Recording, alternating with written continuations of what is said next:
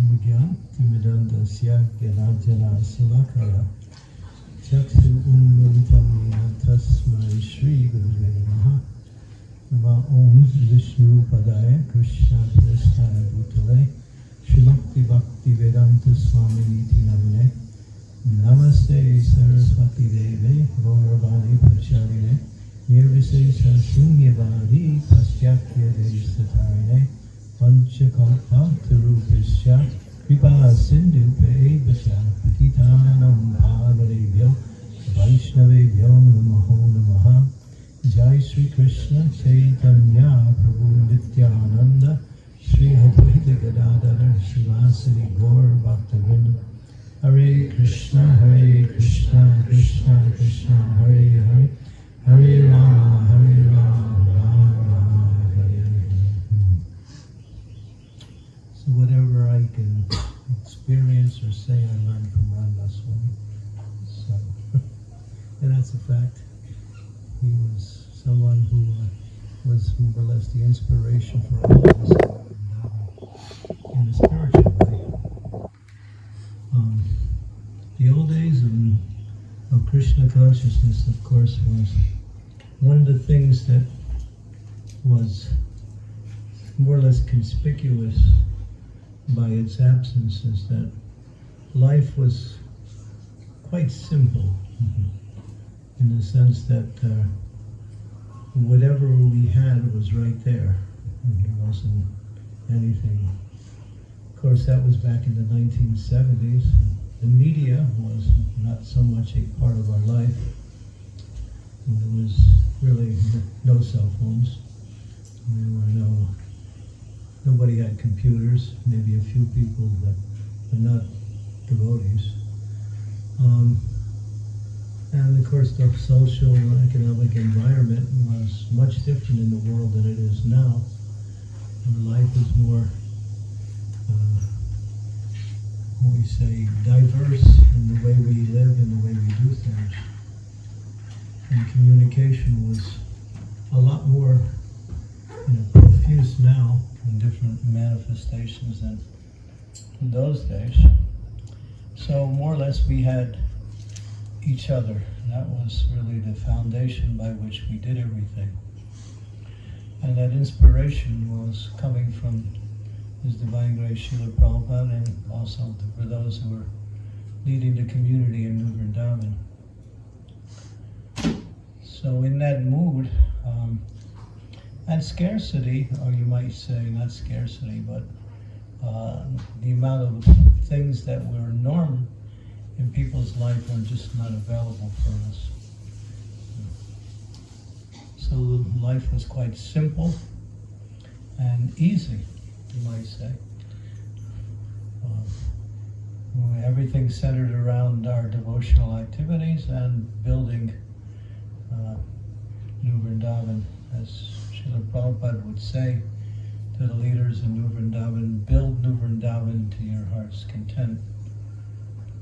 And the indication was to do it in such a way that Srila Prabhupada would be pleased and he would want to come there and spend time there and be and see that yeah we would try to live in a, a way that was just based on you know Krishna's way of living, very simple.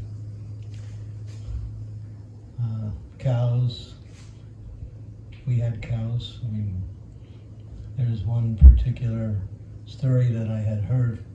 And this is prior to my, I came in 1970, 73 March.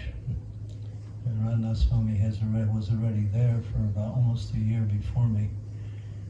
And uh, I had heard that uh, prior to that there was very few cows at that time, and so we had four cows. So we wrote a letter to Srila Prabhupada asking him, please name the cows. Thought it would be appropriate to get a name from Srila Prabhupada would be the best of all names. So the response is, we asked for four names, and Prabhupada wrote back, Chintamani. so he gave one name. And then we wrote back Prabhupada, yes, we have four cows, so please give us four names. And he said, Chintamani 1, Chintamani 3, Chintamani 4. so like, Prabhupada's vision is cows are Chintamani, wish fulfilling animals who could fulfill all the desires of the devotee's needs and also the spiritual. The presence of the cows would be, you know, auspicious. So this is how we, you know, things were quite easy and simple. The farm was divided into three places. There was the main farm, which we called Bahulaban, and that's where when you would drive down the road, everyone would go there. But behind that, in a little distance away in the woods, there was the Brahmachari farm. Of course, when I came there, it was a Brahmacharini farm.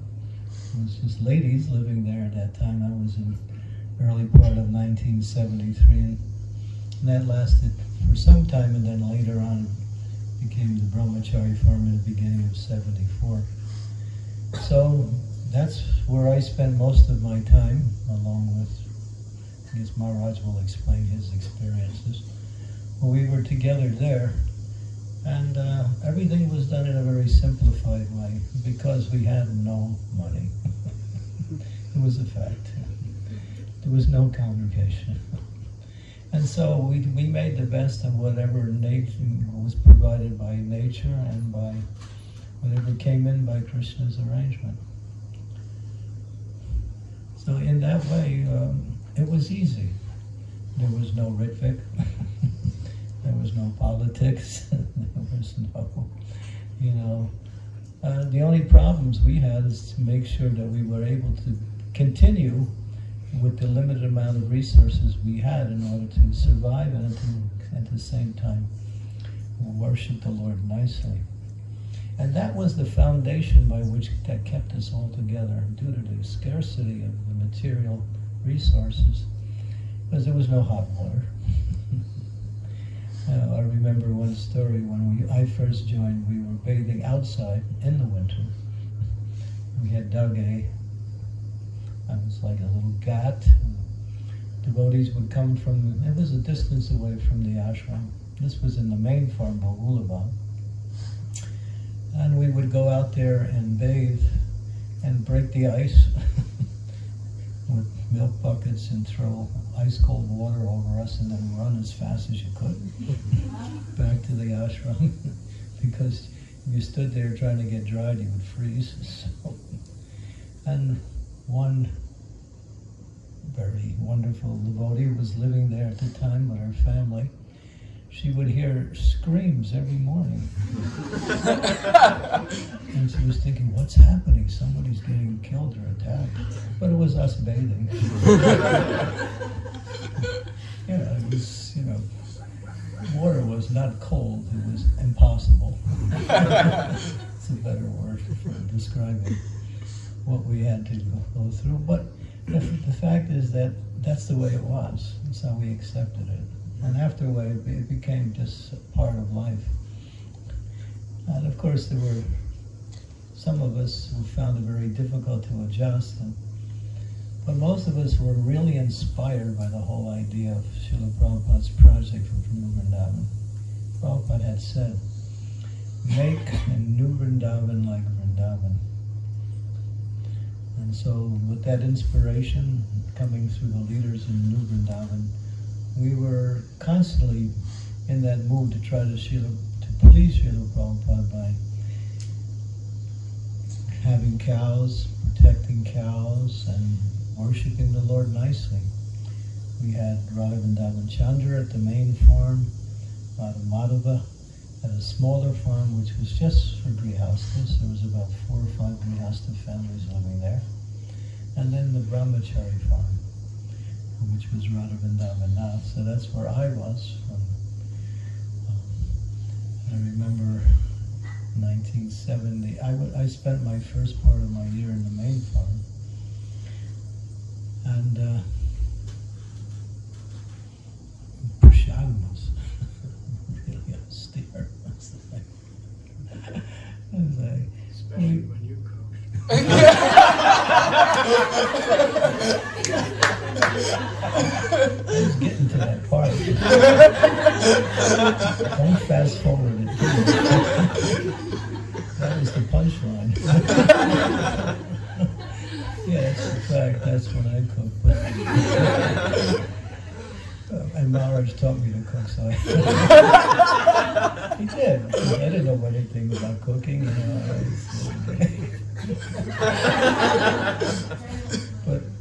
he's referring to my own innovative type of cooking, which is not what he taught me. so that was something. It wasn't so wasn't so innovative. It was more like, you know, like, you know, is there any place else to eat? You know. so, but when I first joined, we had chapatis, no ghee, no salt, rice, no salt, but plain white rice and something they call dal.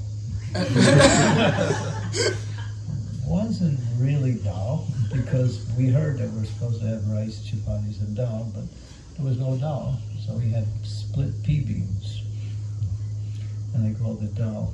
Really heavy. After you eat that, you want to go to sleep. It's just so heavy. Anyway, that was when I first joined. Um, gradually, usually how we got money is that when someone came to join the movement, we asked them if they had any money. and that way we could, you know, support our livelihood a little bit better than normal. And sometimes they surrendered, and sometimes they didn't. and if they brought extra clothes, that was also good. So the scarcity that we endured was more or less really, we didn't focus on the comforts that would normally come by having everything. We were more or less focused on the idea of working in such a way as to please uh, Srila Prabhupada by building New Vrindavan. And then the focus in the community, or at least the, the emphasis was worship the deities nicely. So whatever money came in, a lot of it, most of it, practically all of it, went to give the deities nice prasadam and also nice clothes. So the deities became our really our binding force within the community. It was we have to please Radha Vrindavan Nath, we have to to make their worship as nice as we could, whatever, whatever we could. So that was the mood that was more or less the binding force amongst the devotees. Everything centered around trying to please the deities or make the deities, you know, give them as much as they could because, you know, for the Lord, scarcity is not something that we can tolerate. We should try to make it as nice as we can. And uh, that was what really kept us all together was that, that, that mood of serving the Lord nicely, or trying to in our best, very minimal way we can. And there were many, many wild experiences there. When I go to different places and devotees ask me, can you speak about the old days of New Vrindavan? I don't know where to start because it's really quite wild. And Mahaprasadam wasn't available only in breakfast time. we, whatever we, we would uh, offer to the deities was put into the Maha cabinet and was kept until the next morning, and then it was supposedly, I use that with, with a little loose term, supposedly distributed equally. but if you got there late, you would miss the serve. So, um, and devotees would look forward because prasadam was really, really, really simple, you might say in that sense, austere also. And there was nothing available between meals. And so this started a little bit of a, a criminal activity. Should I describe that? Yes. Can I have permission to speak about this one? No?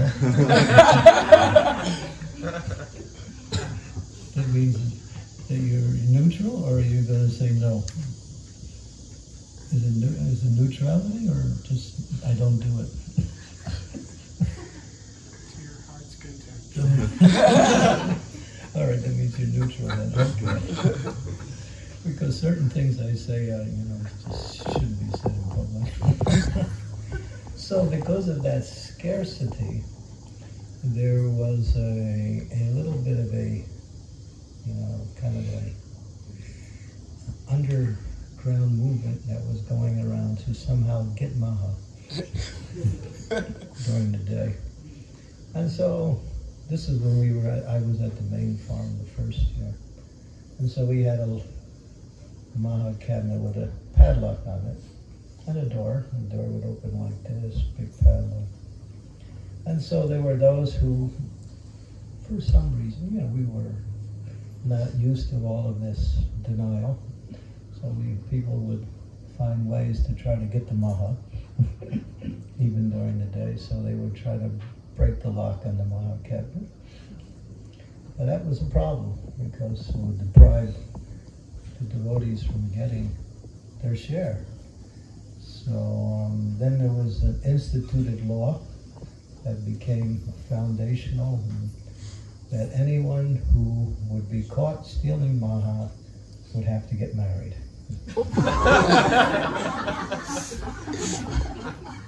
that was the, you might call it punishment for some and really fulfillment of desires for others. That, yeah, that was, that was the rule. So that went on. But that didn't discourage the underground movement. they continued to go on. So then we thought that we have to make stronger measures. So we wrote, we put nails on the inside of the Maha cabinet, and when people would try to break the door, they would pull the bottom of the door open, and then they would stick their hand in there. It would be like meeting Aghasura. It's like nails. But that wasn't enough. so then get a, we got a refrigerator and put chains around it with a lock. I'm not sure of the different sequences of how this played itself out. I'm sure Radhanath Swami knows more, but he won't speak about it. because it's, maybe you will, I don't know. but anyway, uh, you know, devotees were breaking the lock on the refrigerator and still stealing them all. Every week there was a marriage. Every week. Sometimes two. And it was good because many of the ladies, because, you know, the preaching in that day is stay brahmachari. That's the way it is. That's the way you get. And Prabhupada also said, of course, this was something he said off the cuff. He said, all the men should remain brahmachari and all the women should get married. and then he said, and it's up to the leaders to figure out how that's going to be. anyway, that's that doesn't apply to this story directly, but it's a statement. So that was the mood. Yeah. And so, but things were changing. I got called stealing Maha. I saw my wife the first day on the marriage, because you know, they would say, "This is your wife." Oh, okay. and uh, so I was married for like two or three days, I think. but that was that was different. I mean, because as soon as I got married, they sent her out on Sankirtan, and I stayed at the farm. It's too late for that.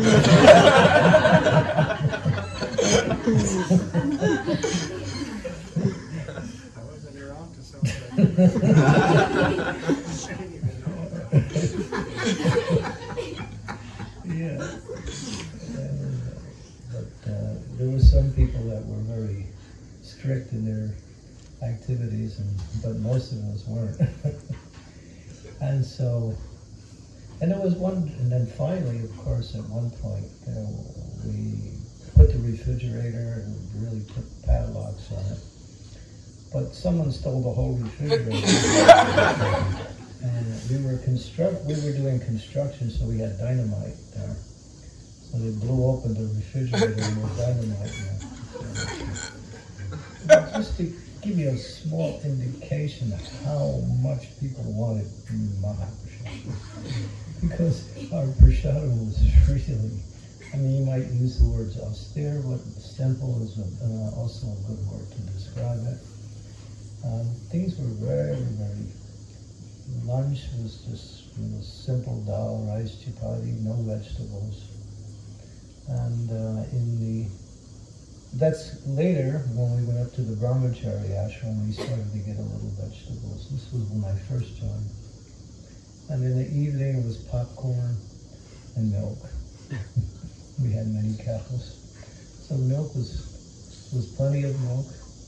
In fact, trained devotees were drinking too much milk. And Prabhupada came and we all were sick from too much milk and Prabhupada said, You're drinking too much milk. And he gave the formula.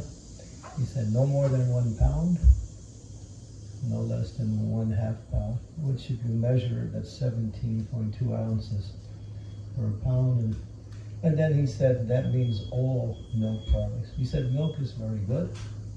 It's nutritious. It's meant for developing higher brain uh, tissues in order for one to understand philosophical principles. But he said not too much and not too little.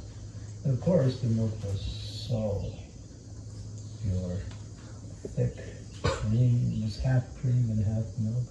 You let it sit there, it was just, just practically all just nice thick cream on the top. Very tasty. You wouldn't even need any any sweetener. It was so nice.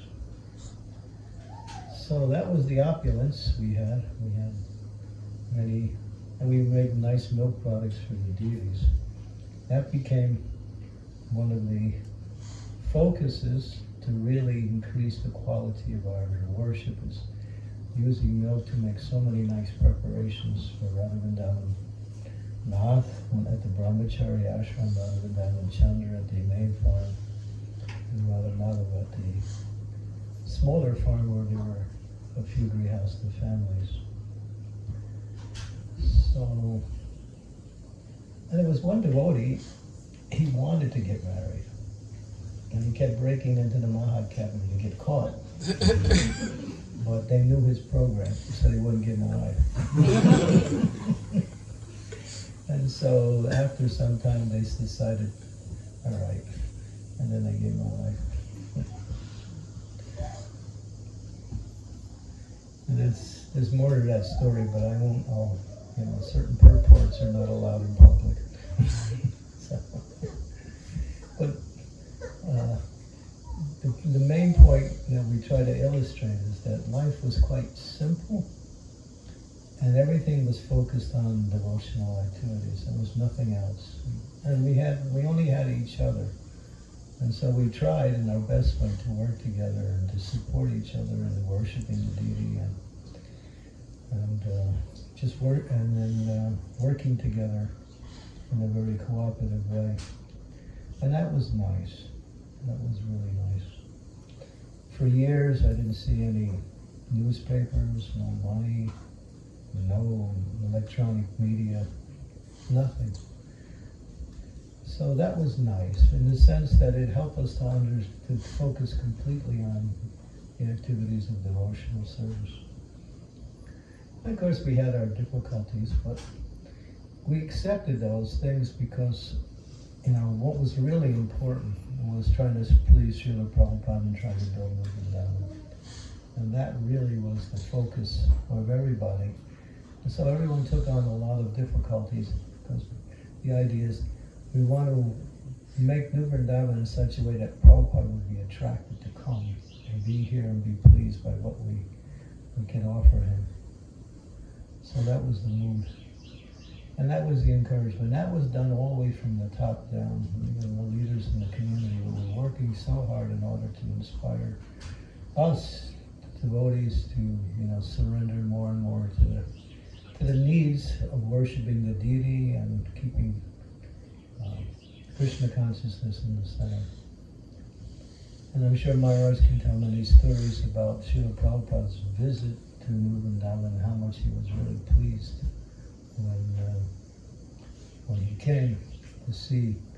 He said this was actually his dream to have a, a Krishna conscious community, farm community in the Western world that would be a prototype that could expand itself out to teach real liberal. Because one of the principles that Srila Prabhupada enunciated when he first began uh, Krishna consciousness in 26 Second Avenue, he talked about uh, establishing a more simplified lifestyle where we could bringing the bringing the participants of devotees together based on that lifestyle. So, and that helps to really minimize many of the problems. Because a lot of the problems we have is we, we have too many things to do.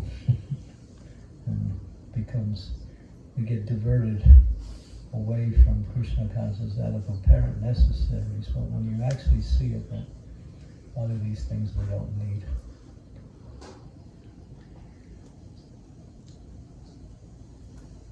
And, uh,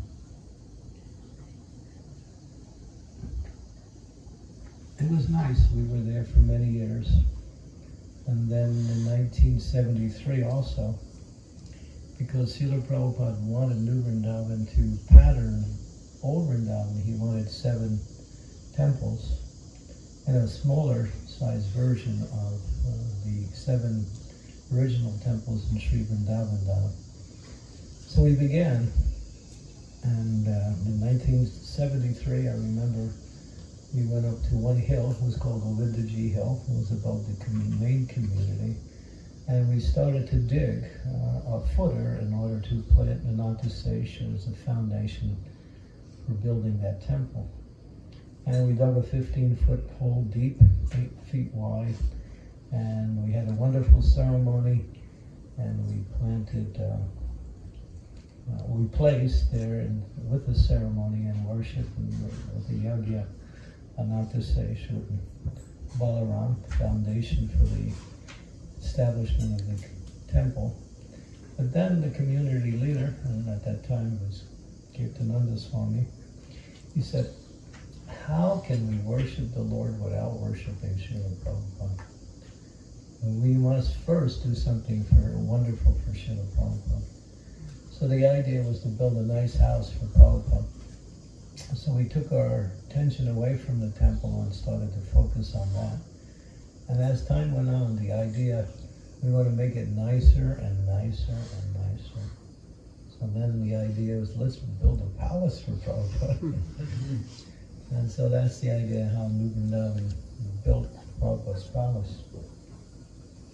And then all of the energy switched in order to build Srila Prabhupada's palace. Uh, the brahmacharis were more or less the workforce in order to establish that. And uh, myself and Radhanath Maharaj, he was the pujari, the brahmachari. And we had one woodcutter. We were at the old Vrindavan farm. It was just the three of us up there all day. And the rest of the devotees would leave after breakfast and, and cross the ridge, going deep into down to a valley and then coming all the way up just to get there was quite arduous. And um, they would work all day building Prabhupada's palace. And it wasn't easy because there wasn't so, so much skilled labor. All these were reading books, learning more about construction. Finally, we, we uh, purchased a place in Pittsburgh and we established a marble factory. And then you know, devotees were going around the world and purchasing marble in different places and bringing it back. And we, uh, the result was a wonderful offering to Srila Prabhupada. And Prabhupada came just before the palace was finished, and he was walking. And he was smiling, and devotees were showing him the different things that we had already established. Prabhupada was really acknowledging. And then, I believe it was the community leader, he said, and Prabhupada, we want to light this palace with so many beautiful gems to make it really bright and you know very beautiful. And Prabhupada, he stopped and he looked and he pointed to all his devotees. He said, "These are my gems." the devotees. Yeah. And Prabhupada showed his affection for us and showing that yeah, the devotees are the real gems because it's what the, it's the devotees that make up Krishna consciousness. So that mood was to to help us to really work together as a as a group in order to please Srila Prabhupada and build his palace and make New Vrindavan a place he can be proud of. But the lessons we can learn from that is that uh, difficulties will come. There's no question about that. This, this is the material world. Because this is the material world, there's always reverses, there's always challenges, there's always obstacles. But a devotee will see these things. I think we heard from Radhanath Maharaj last night. He gave a wonderful talk explaining how Sanatana Goswami was, you know, he was a great, you know, he was a, he was a completely pure devotee of the Lord, but yet he was put into so many difficult situations. And but he never complained, and he he was always using his situations to somehow or other uh, stay Krishna consciousness and also uh, expand Krishna consciousness. So that's the mood of a devotee. Devotees thinking difficulties are actually opportunities in order for one to grow in Krishna consciousness.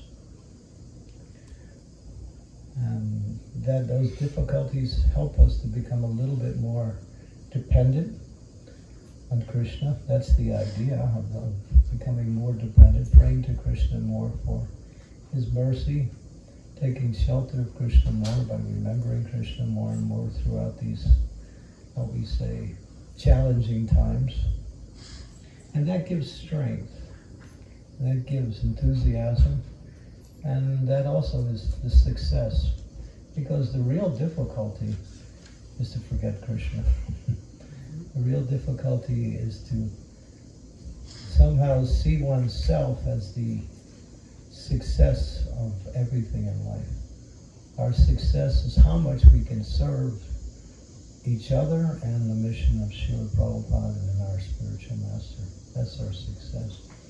So these difficulties help us to become more dependent on the Lord's mercy.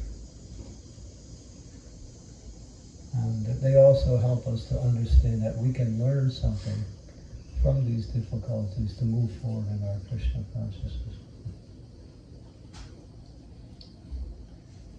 So we try to avoid these things, but they come automatically just by providence, you might say, or just by living in this world. But the devotees never discourage because as long as we stay stay in Krishna consciousness, guaranteed there's success. Taktua deham purna janmani naiti surjana. That devotees accept difficulties as opportunities to become more and more serious in their practice of Krishna consciousness. I think that the greatest difficulty is that when we when we somehow become discouraged in our execution of Krishna consciousness. Help us that we cannot fail internally, uh, ex, from the external environment. This movement cannot be stopped from the outside, only from the inside. So we have to stay strong in our practice. That means nice, good sadhana. That means good sadhana. Good sadhana really means to take the chanting of our rounds very seriously. Very, very seriously. It's the most, it's the foundation by which we build all of our activities in Krishna consciousness. And it's the way to purify the heart, it's the way to connect with Krishna, and it's the way to experience the happiness in Krishna consciousness. So we keep the holy name first, along with the association and service of the devotees. That's the foundation for all our success in Krishna consciousness. And that requires some experience and some uh, some intelligence on how to do that. But by learning, by associating with each other in that mood, we can find we we can we can solve all of our problems. It's then when we somehow go out of the association of devotees, when we think we can solve our own difficulties, then we find we get confused. We also find it becomes difficult. And what usually happens, we become a little discouraged in our execution of Krishna consciousness. Always stay in association with devotees. This is the most important part of our foundation. Prabhupada would say, three things are important in Krishna consciousness for the successful execution of Krishna consciousness. He said, association, association, association. So make a note of those three. That's how Krishna consciousness really expands itself through associating with devotees in the mood of serving. Because if we have the mood of enjoyment, we miss the opportunity to actually benefit from that association. Okay, I won't speak too much more because this was the introduction. Now we get to the reflection. Thank you very much. Srila Prabhupada ki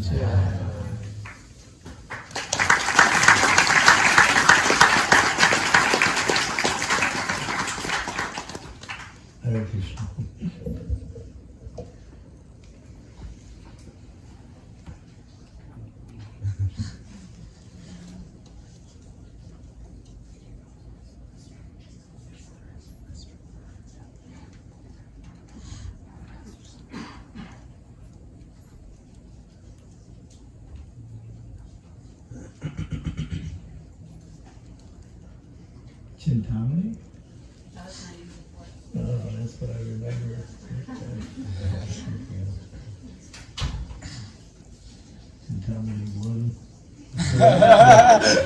Chintamani one, Chintamani two.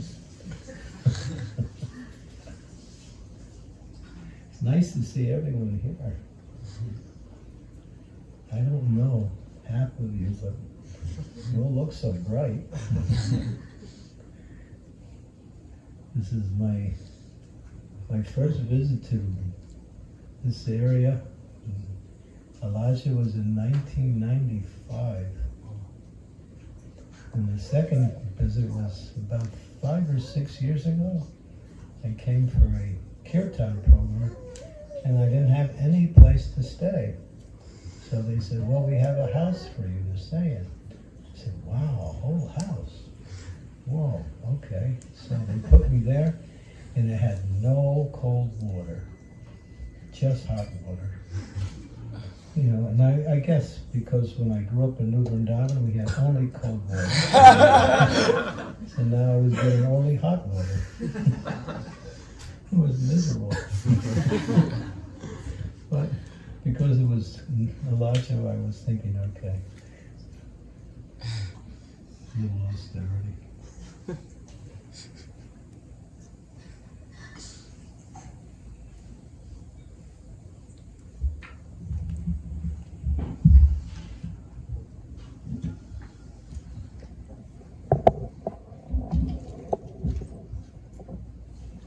Hare Krishna. Thank you, Maharaj. Hare Krishna. I'm so grateful to be with all of you. Thank you for coming.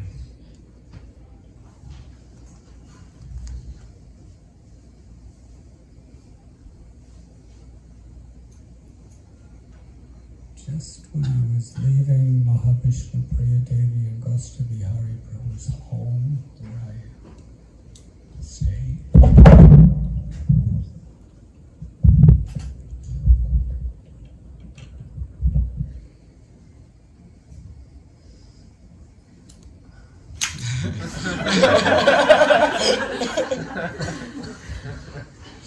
So it doesn't happen again.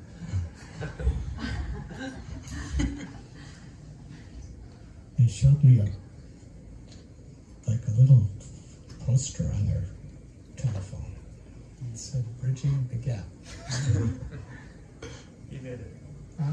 He made it.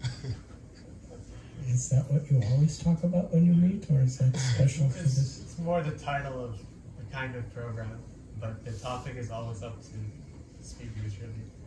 But the, the title of that program meaning bringing together older generation and younger generation. That's Sure, like that's that. the idea, yeah. But whatever you want to share is ultimately up to you. Thank you.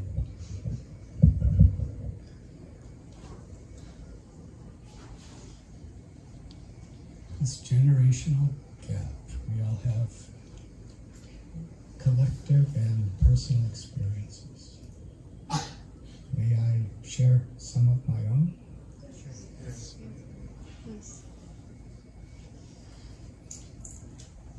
I was born in 1950. That's 73 years ago.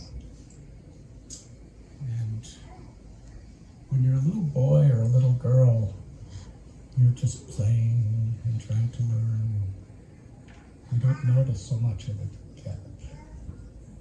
But when I became a teenager, it was the 1960s. And it was a serious generation gap. and I couldn't find any bridges anywhere. um, it was a time when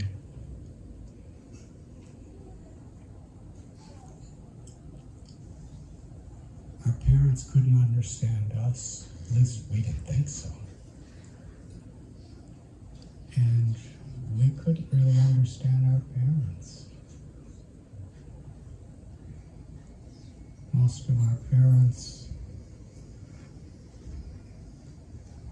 they were brought up in the Great Depression. Do any of you know American history, what the Great Depression was? Practically the whole America was in dire poverty.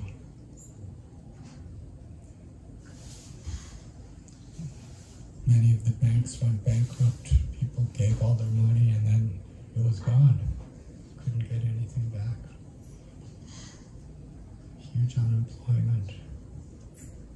And, and my father and mother had to leave school when they were like 15 just to work full time to just for the family could eat. It was difficult times. So, you know, when they got jobs and worked and struggled and strived, they knew what suffering was.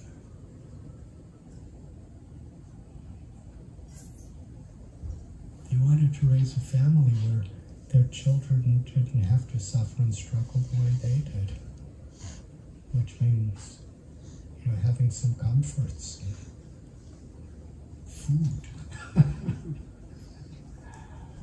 um,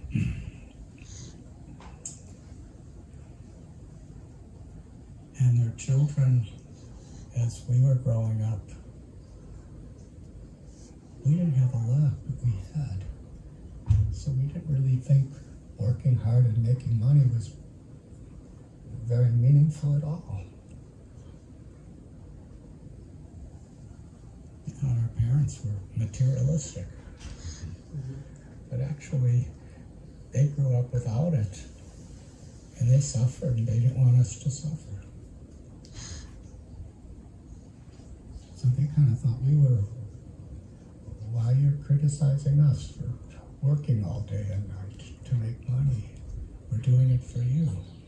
And we couldn't appreciate it.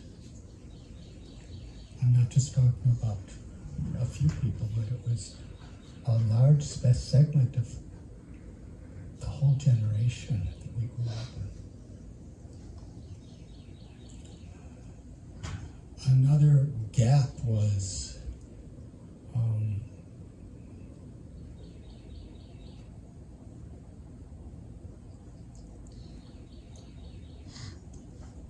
I guess it was 1941. My parents were just in their 20s. um, the United States Navy was bombed, and there was a war in Europe and a war in the Pacific, and America entered World War II. My parents and so many in my generation, um, their aunts, and cousins were being put in concentration camps in Europe and literally exterminated. Every one of my relatives was killed that didn't come to America before that. So World War II was very meaningful. There was a lot of patriotism. And almost all men, they weren't getting drafted, they were volunteering. They wanted to fight for their country. Hmm. They wanted to fight for freedom. They really wanted to fight for justice. So there was a patriotism. In my generation, in the 60s, there was this Vietnam War, which really didn't make any sense at all. It seemed like we were violating other people's freedom. And there didn't seem to be any justice involved. And yet, the whole generation was being drafted and told you either go and fight and kill these people or you will go to jail. It was a federal offense to not go. And if you don't go, you're not going to get an education and you're not going to get a good job because you're going to have after jail. At the same time, you know, as television was kind of growing, at the beginning it was just black and white television, and there was in Ch- Chicago area where I grew up, there was four stations, and there was no television from like eleven o'clock at night till about six in the morning. It was just like this. Um, nothing. and then it would start. Um, but as the news was starting to come and and in our own life, you know, my parents were struggling somewhat, and I had a job when I was 15, and everybody else in the job was like my parents' age, and they were African American from the south side of Chicago. They really lived in poverty. And they were who I was working with from 15 on. And the civil rights issue was not just a theory or an idea. People I loved were really suffering because they just did not have rights. There was so much resistance. And it seemed like the government itself was not giving the, the facilities where people could grow just because of a different color skin, a different background. This was so wrong. And being idealistic as a teenager, as I grew into these years, a huge segment of my whole generation. We blamed our parents' generation for this Vietnam War where our friends were being killed for nothing. And we blamed our parents because they were patriotic for the injustices of minorities. To be a civil rights activist was many, in many ways blaming the previous generation for what they left us. Those counter counter culture. You've heard of that word? In the 60s, there was the counter culture, which really means the younger generation encountering, demonstrating and fighting against what the older generation represented to them. And uh, many of our parents, they weren't prejudiced. In fact, you know, my own parents, they were discriminated against like anything but when they grew up. But still, we blame them for the civil rights war because we there is this dynamics of the younger generation battling against we considered the problems of the world, and we blamed it all on our parents' generation.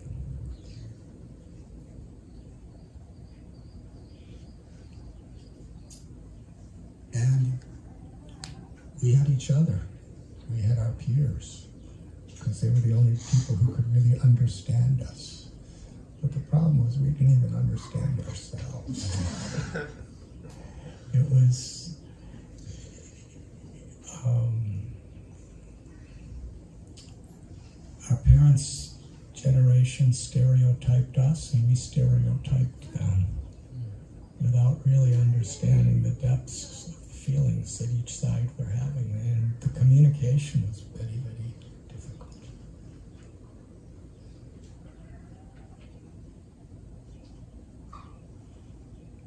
So at a certain time, yes, we you know we had each other as a generation where we kind of bonded, and we had our ideologies, and we had our demonstrations, and we had our marches, and we and um, we had our music, which promoted all that stuff.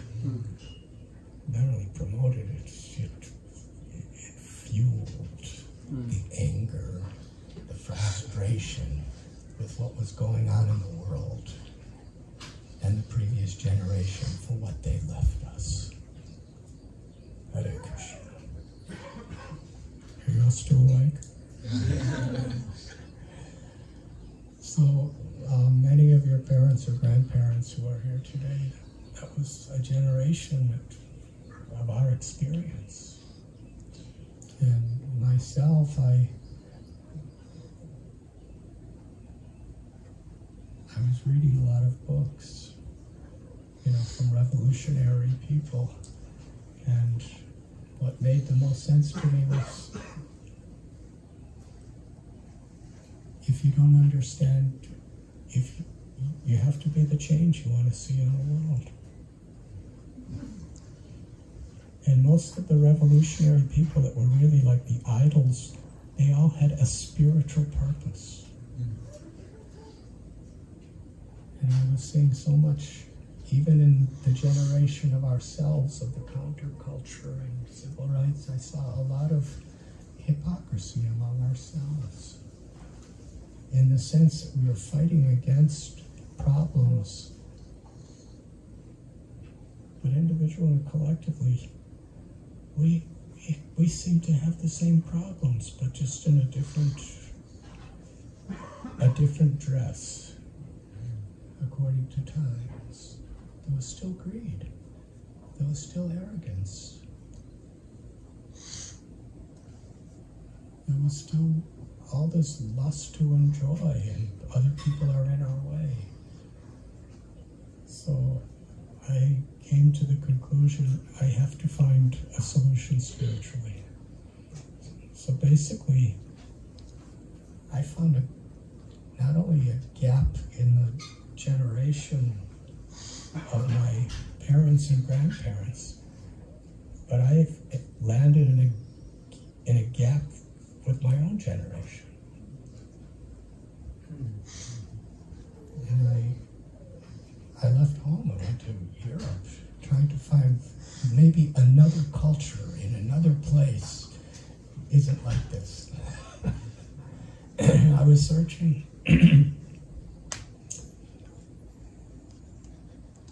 if any of you read this um, very uh, unusual, strange book called The Journey Home, you may have read part of this. But um, I was traveling around searching for meaning and purpose and to find where where I am meant to be in the, all these gaps. And I realized more and more that the only real gap there was between was between me and God. Hmm. that was the real gap. Hmm. And how am I going to find that bridge?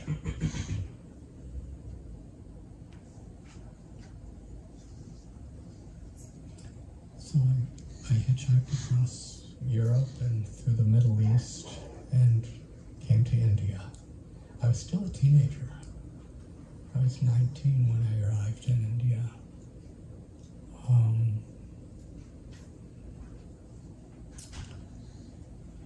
and I was a spiritual seeker. I would be going through jungles and Himalayas and different villages and towns, and actually the only people that I, I ever associated with for over a year was people either my grandparents or parents' age. And they were all from India. I felt kind of like I can identify no white people. no one my own age, no one even in my own generation. I was just with these old Indian sadhus. Hmm.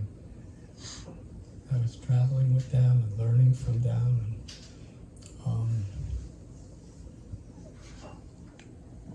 yeah, there was a total gap with anybody my own age from my own place. But I was, you know, in, in the disconnects from all that stuff of my past, I was really, I had no alternative but to find myself. And that's, that was my life. I was learning from people, most 60s, 70s, 80s, everybody I was living with and learning from. And they just saw me as, in those days, there wasn't many foreigners going to India.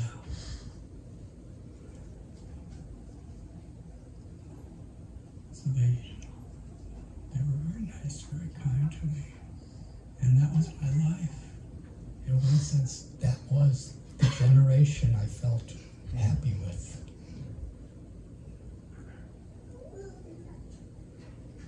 Because they were renounced people who were seeking God. And after quite a while of traveling to holy places like this.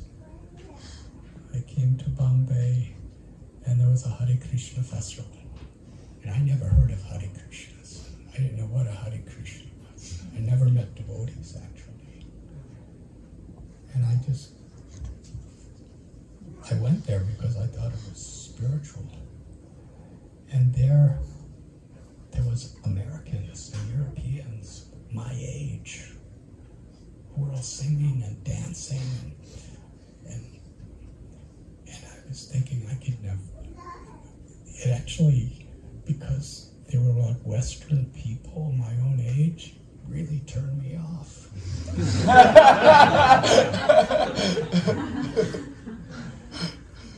I don't know how to explain it. I guess in maybe today's language I was really like gapped out.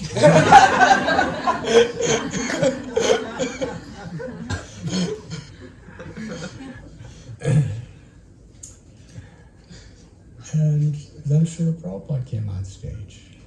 And I was thinking, I'm willing to tolerate all these other people. I, I had nothing against them. I just could not identify anything with them. But Srila Prabhupada was so kind. He was so compassionate, and he was so deeply embodying this spirit of love for God. I, I stayed on in this festival just to be with him. And the devotees really thought I was in Maya. I had long matted hair. I remember one devotee asked me, it's like my age. He asked me, what books are you reading?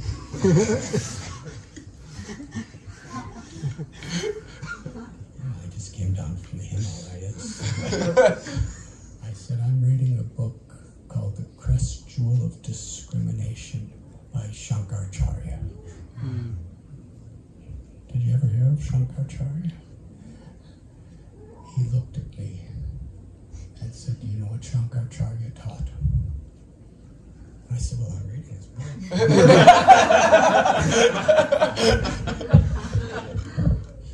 he, he was so angry at me for reading a book by Shankaracharya. I couldn't understand. He said, he said, worship Govinda, worship Govinda, worship Govinda, you fools and asses. I was thinking, here, I'm just meeting this person. Calling an ass. You know, he was an American bookman, you know, about my age. And I was just, um, anyways, that was what it was like. One of many. And when Prabhupada, uh, I was invited on stage by Srila Prabhupada, and there were so many people in the crowd.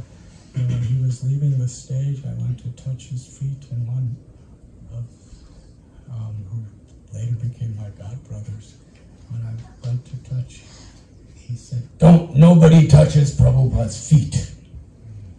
And he said it like a thunderbolt of chastisement. And there's like 30,000 people watching. That's how many people were in the audience.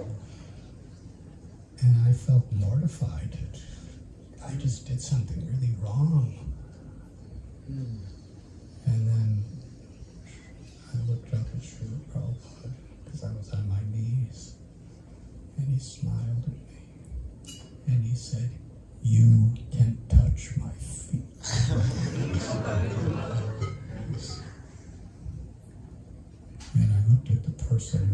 and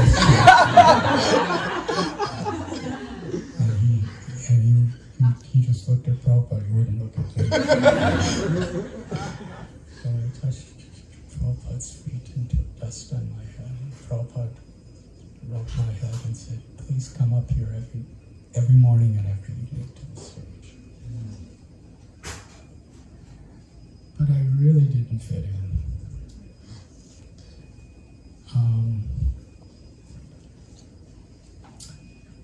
was just for two weeks. Then I went back to the Himalayas to be with all the old sadhus. And my visa, and eventually I came to Vrindavan, and there was no ISKCON. There was only one other person from the West that lived in Vrindavan. He was actually a disciple of one of Srila Prabhupada's godbrothers. And he was about eight years older than me. And he was like my only peer. Everybody else that I was with in Vrindavan were, um, you know, Brijavasis or sadhus, Babajis who were, you know, mostly the age of my grandparents or parents.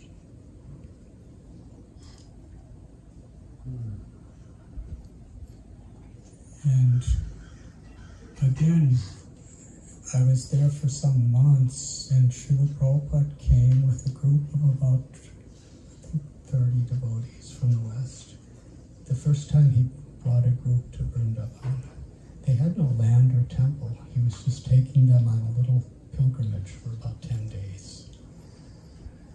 And I, I was there with the devotees, and the devotees, I loved them, but I just couldn't identify with them. Um, they didn't understand me, I didn't understand them. Mostly because we were the same age. and we were from the same places. so they were telling me I was in Maya for living in Vrindavan.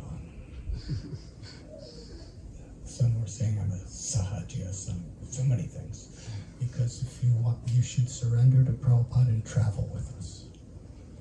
And actually, I was surrendering to Prabhupada, but I didn't think they understood me. But they were really putting pressure on me, some of them. And one day, Srila was walking from this event in, in a little forest area of Vrindavan, and I bowed down to him, as so many others were, Brijavasi people. And Prabhupada stopped and said, How long have you been living in Vrindavan? And I was thinking, the devotees must have told him that I'm living in Vrindavan because they didn't like me there. And I thought Prabhupada was going to chastise me.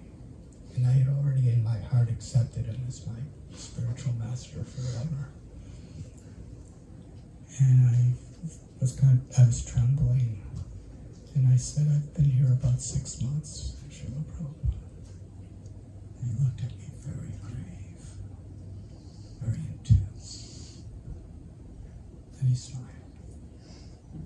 And he rubbed my head again. Was on my knees and he was standing. And he said, Very nice. Vrindavan is such a nice place. and then he walked away. and, I- and at that point, I was ready to leave Vrindavan just to make him happy. Nothing else really mattered. but I don't, I, I just had no idea how I could fit in this movement. And then my visa ended after some time, a year or something. And I came to the West and I went to see Srila Prabhupada in New York. And I couldn't get another visa for six months. That was the law in those days. And Prabhupada was coming to New Vrindavan, so I was told to, um, not told, yeah, I, there was invitations. I went to see Prabhupada in New York City, and they were inviting people to come to prepare for his arrival in New Vrindavan. So I was thinking I'll just go there until he comes, and then I'll go back to India. So I went to New Vrindavan, and that was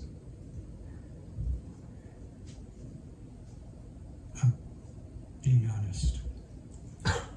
Leaving my home in Chicago area, going to all these countries in Europe, going to Turkey, Iran, Afghanistan, Pakistan, and then traveling through India alone with nothing. There was culture shocks. But the biggest culture shock for me was to deal with the devotees of New Vrindavan.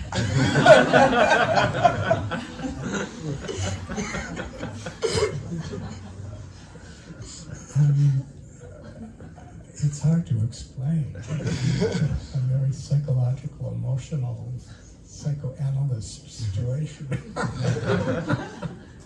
but I just couldn't identify with them, and, and they, all we really had in common is we wanted to serve Srila Prabhupada. but you know, I, I, I had long matted hair, and I, I refused to shave my head until I was ready to take initiation from Srila Prabhupada. And I already kind of made a vow that I wouldn't cut my hair until I was ready. And the greatest, I didn't, I didn't have confidence I could follow my vows life. And I, and I knew that ISKCON was his mission. And if I'm going to be his servant, I should be serving his mission. But I just couldn't fit in his mission. It was, you know, just very strange people. Me. I, I, I liked everybody, but it didn't seem that anybody and I didn't know how I could live with them. So, um,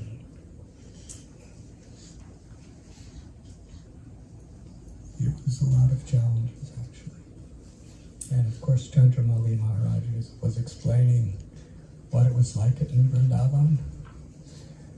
But one of the strange things that people saw about me, it was so austere. What he was saying, devotees were eating and just cold baths and no facilities. But compared to the way I was living in Vrindavan in the Himalayas, it was sense gratifying. and, and I remember I, I told the leader of the community I'm leaving. And he said, Why are you? This was even before Prabhupada came. I said, I'm leaving. I, I don't. And he said, Why are you leaving? And I said, Because there's too much sense gratification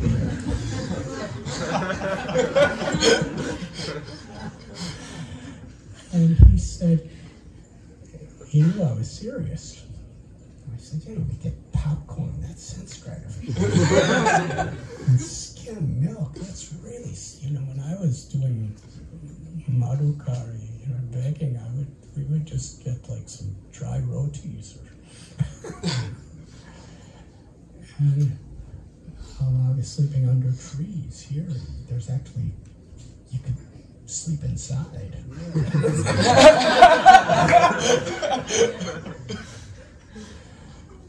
um, he looked at me and he said, You are the first person in the history of New Vrindavan to ever leave for that reason.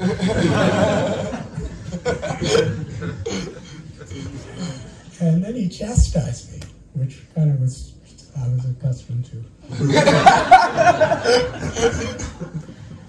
he said, Srila Prabhupada said,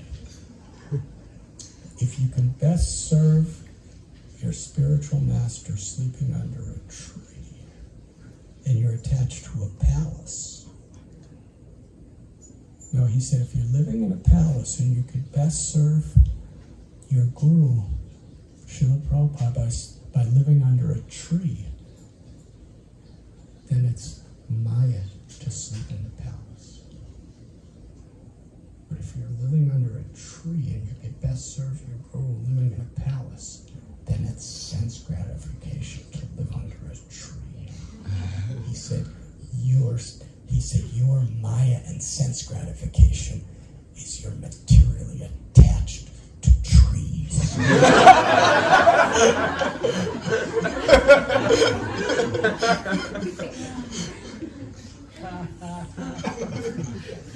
Now I was like about 21 or 22, and I was thinking, they just don't understand that.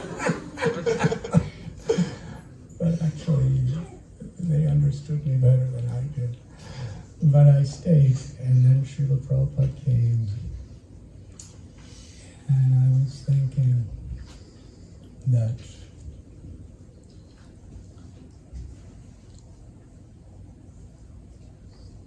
in, my own heart, ISKCON was so dear to Srila Prabhupada.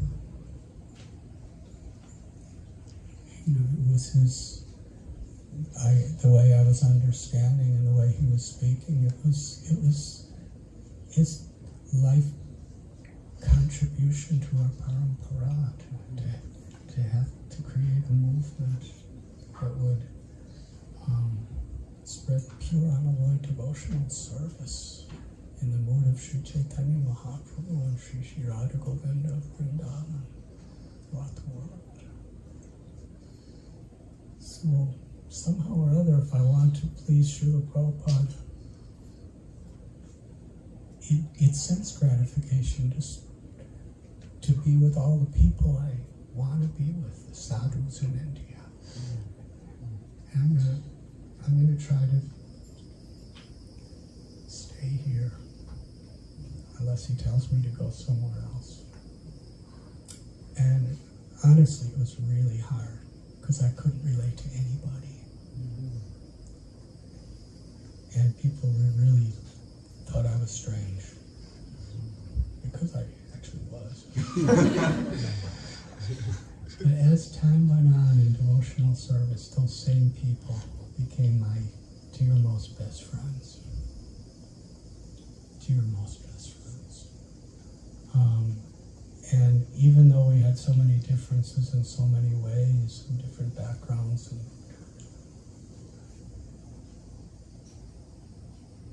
um, I just wanted to be with these God brothers and God sisters for my whole life forever. Because it wasn't, our relationship was not based on anything superstitious, superficial. It was based on learning to know each other and love each other. Because our purpose in life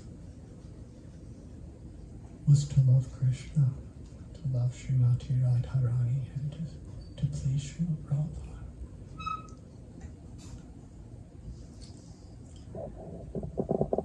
Um,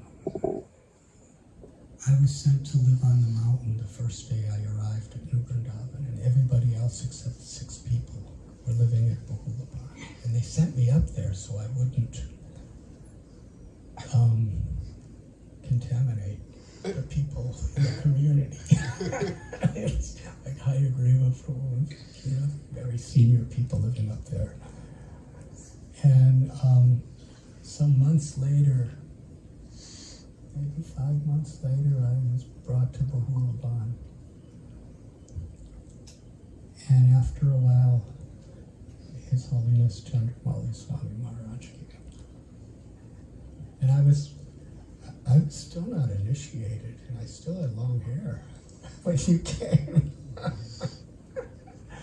um, and if, in New Vrindavan, for, for me, living in Brahmacharya, there was no combs or brushes. and, and there was no mirrors. So I don't know what I looked like. but I do know after taking cold baths in the winter, my, my hair would have a whole layer of ice on it. And I would go like,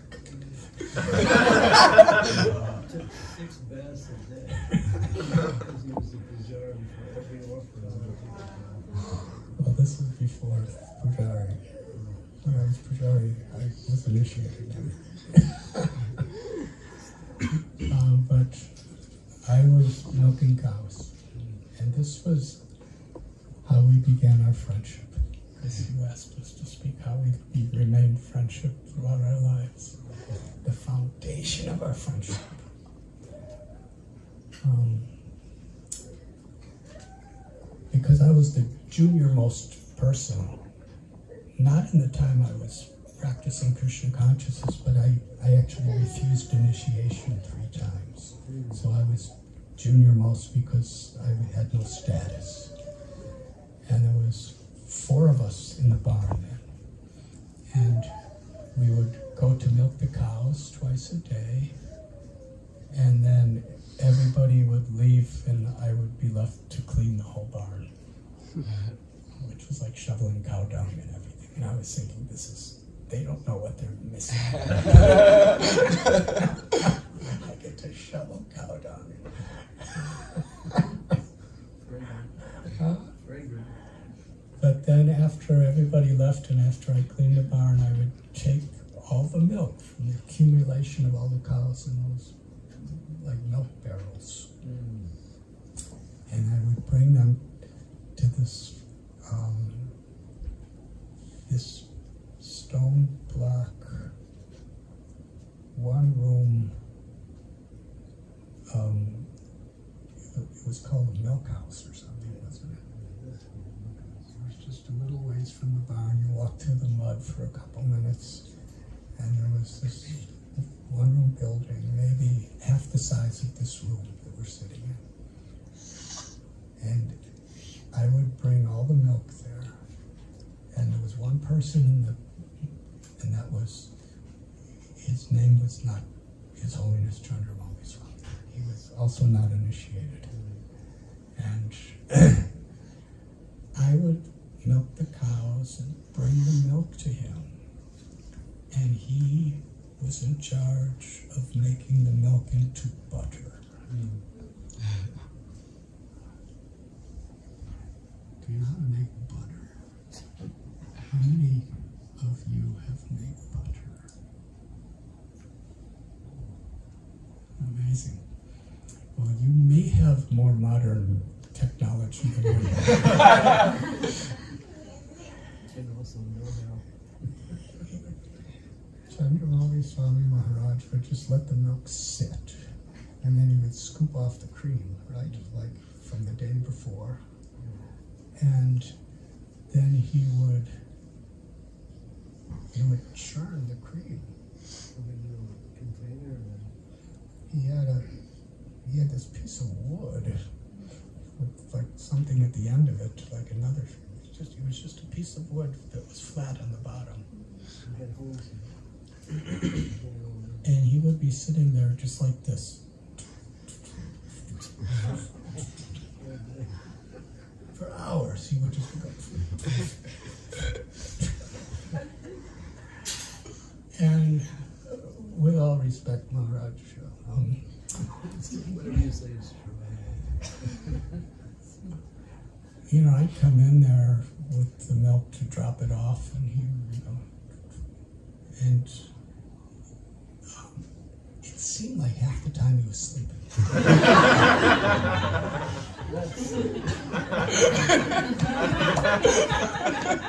use one extra word, seemed. I, probably couldn't recognize it was.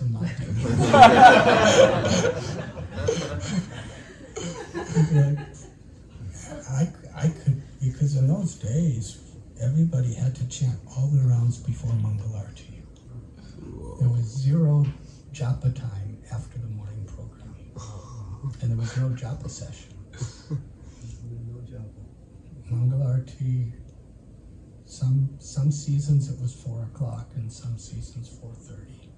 And there was Mangalarti, Tulsi Puja, Srimad Bhagavatam class, Guru Puja, and then you go for whatever breakfast he was talking about. and then by seven in the morning you're out for work. And and there was no moments for japa. So you had to get all 16 rounds done before Mangalarti. Remember, we all, most devotees would get up between 2 and 2.30. So we didn't get much sleep. So I was wondering, you know, just all alone. there were no cassette tape players because we, we didn't have, we couldn't afford those where you're listening to tapes of lectures, and there was nobody else in the room. He's just.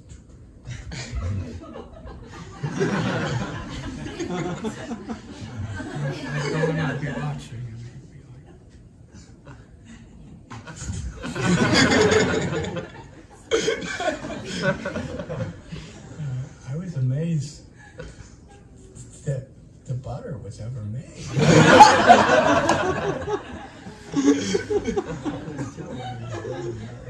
But he would churn it. Would churn it and churn it, then he would remove the buttermilk from like the butter, and then he would have to squeeze it. And it seemed like he would do that all day.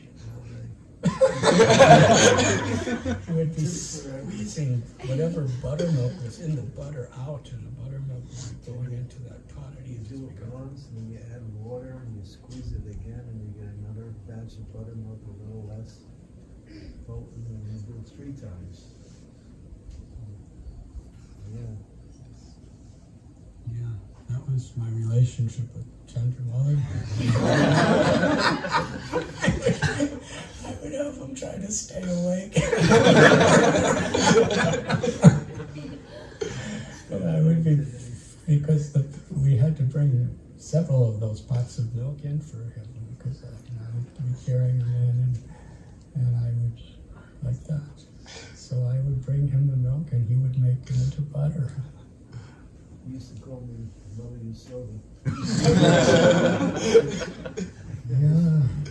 I would, we would read Krishna book and you showed him I would be churning butter. And, and here I was seeing with my own eyes what she used to do. but somehow or other, I was trying to connect it with Krishna book. Um, but our our loving relationship as God brothers and friends began in a very very simple way, and um, you know neither of us were initiated. Neither of us had any say about anything except you know I would shovel the dung and milk the cows, and he would make butter. um, but then the world changes. And at that time, we thought we would never, we would just be doing this until we die. I would picture him like as a really old man.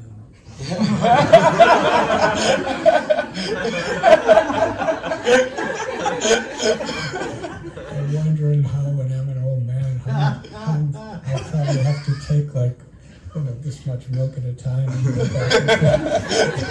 you know, to lift the container. Um, The thing is, I didn't know what it was doing anyway. But then we were we got initiated years later, and we were sent up to Brahmachari ashram in the mountain, and, and he told about some of his experiences with Mahaprasad and the reactions. and we didn't see each other for some years actually, because he was living at Bahulaban and I was up in the mountain. And Everything that Maharaj wrote in his book, I heard before the book came out. Every day he would tell his stories about his experiences in India. He had that longing to return.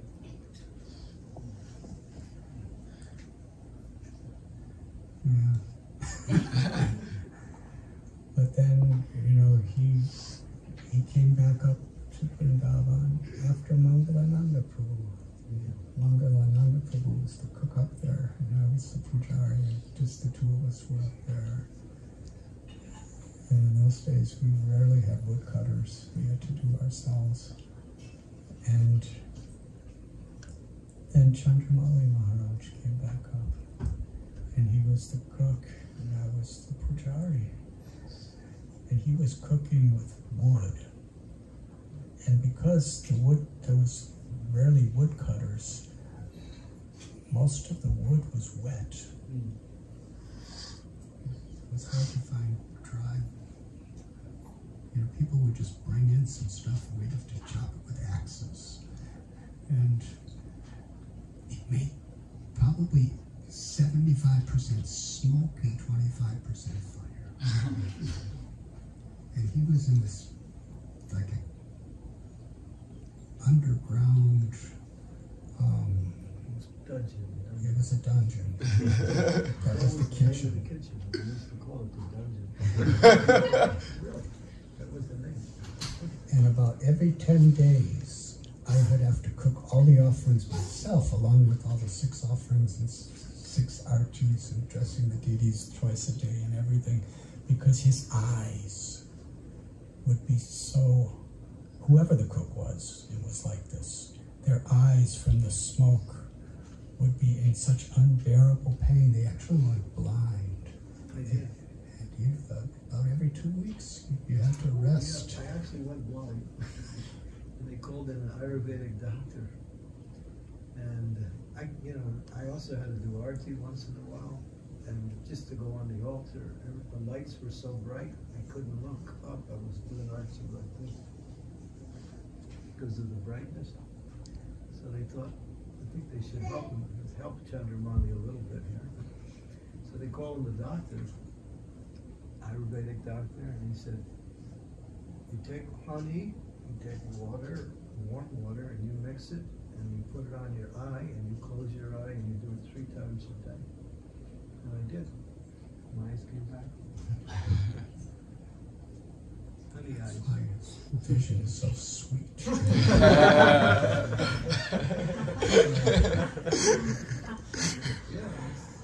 But when he would be with his eyes closed, like ringing the bell, we all thought he was sleeping then.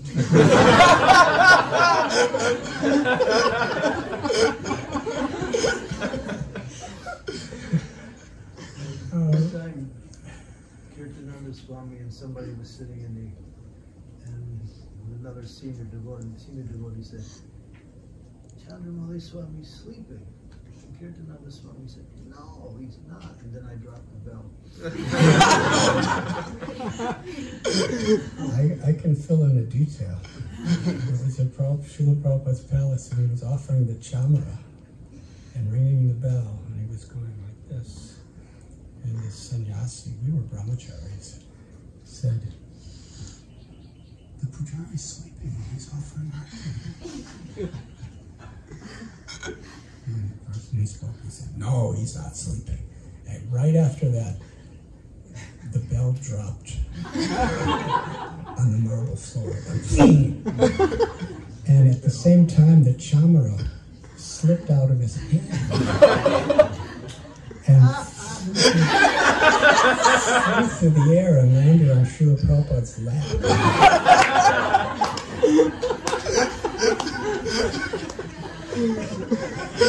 and that sannyasi said, I told you he was.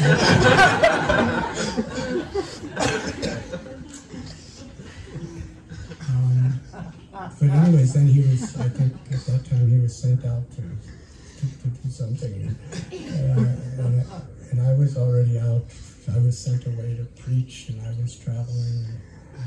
And somehow or other, giant, know, from that little milk kitchen of making butter. I would help him make butter too sometimes, him company. And um, from that, you know, now he's a sannyasi and he's traveling all over the world. He's giving classes and leading kirtan. He's still dancing. He's 76, Almost. 76 years old. He was it. He was a soldier in Vietnam too. He's, he's been through a lot. And um, And over the years, it's like our, we've known each other now from 73. This, the, this year is the 50th anniversary.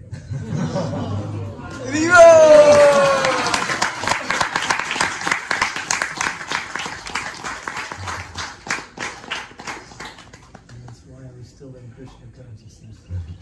Because of motherhood. And we both kind of expect anything from each other.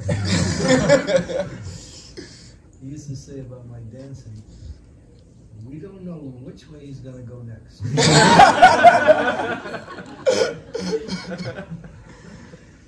I didn't know either.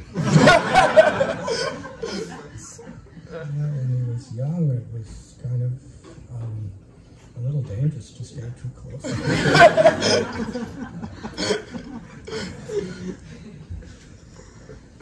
but you know, what is a real friend? And I learned so much from His Holiness Chandra. You know, through through whatever may come, whatever changes, whatever inconceivable circumstances to be well wishers.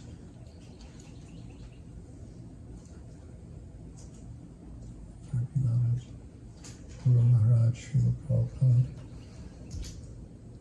he signed all his letters, your ever well wisher, A.C. Bhaktivedanta Swami.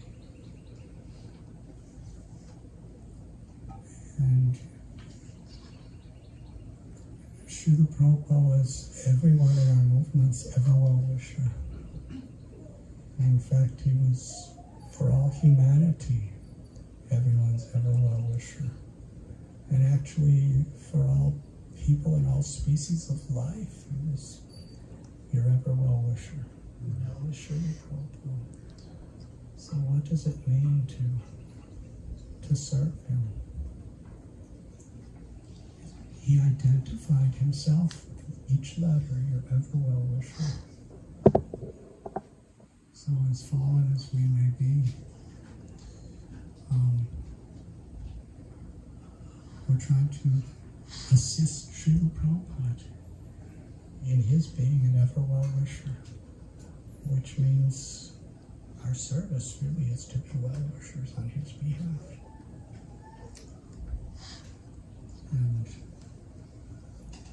you know, through all the generational and cultural gaps really traumatized me in many ways in my life. Um,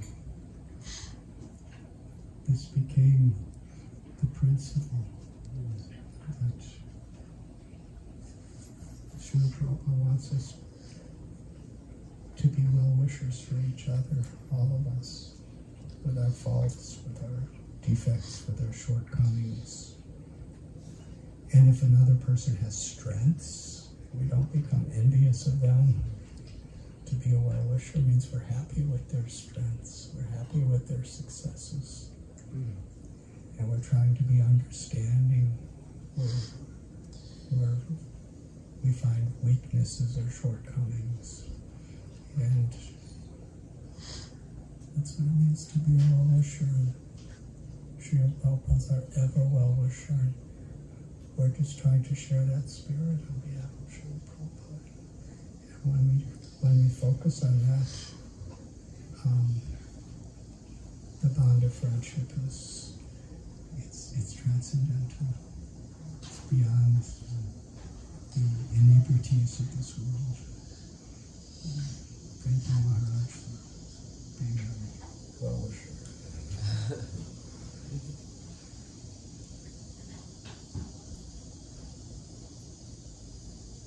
so special. You know, even if I, he's always encouraging me. Anything, anything good I could ever do, um, he's always happy. And any mistakes that I make, he's always patient. That's a well wisher. Does that cover the subjects you asked us to speak? More than covered. Thank you. More than covered means I spoke too long.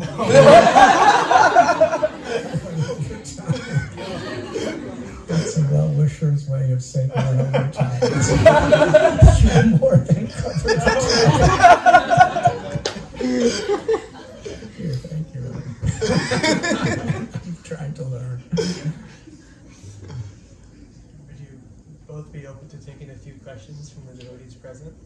Whatever you would like us to do.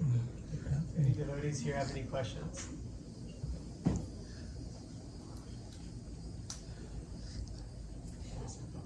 Radharani, you ask a question. Radharani Leela Devi. My obeisances to both of you. Thank you, Maharaj. Thank you both so much for speaking so beautifully on your relationships in bhakti and early years in the movement.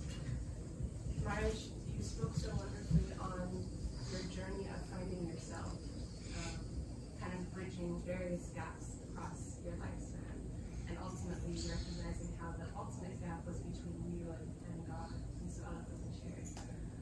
And I'm wondering how, in this mood, in this spirit of being the well wisher of others, you know, whether it is our peers, our children, um, you know, in the helping profession, our clients, how can we assist one another in finding their true selves, our true selves, in the spirit of Krishna consciousness, the spirit of bhakti, and in the mood of serving.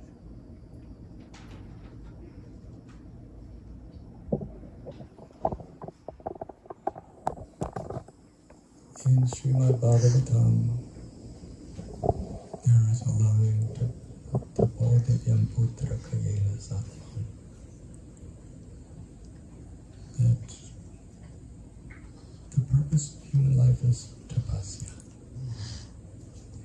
It is through tapasya that we achieve realization that we're not this body, we're the eternal souls, and that we're loving servants eternally of the Supreme Personality of God and Sri Krishna.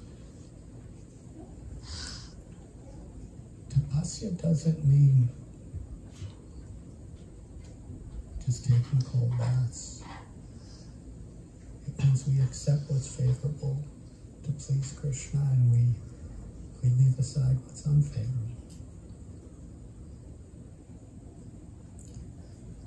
Um,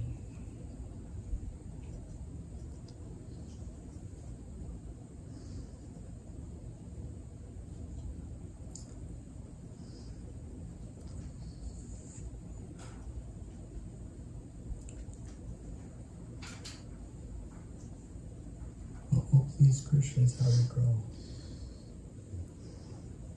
And that's keeping that focus is how we progress. And we want to help others. But if we want a spiritual empowerment to help people spiritually,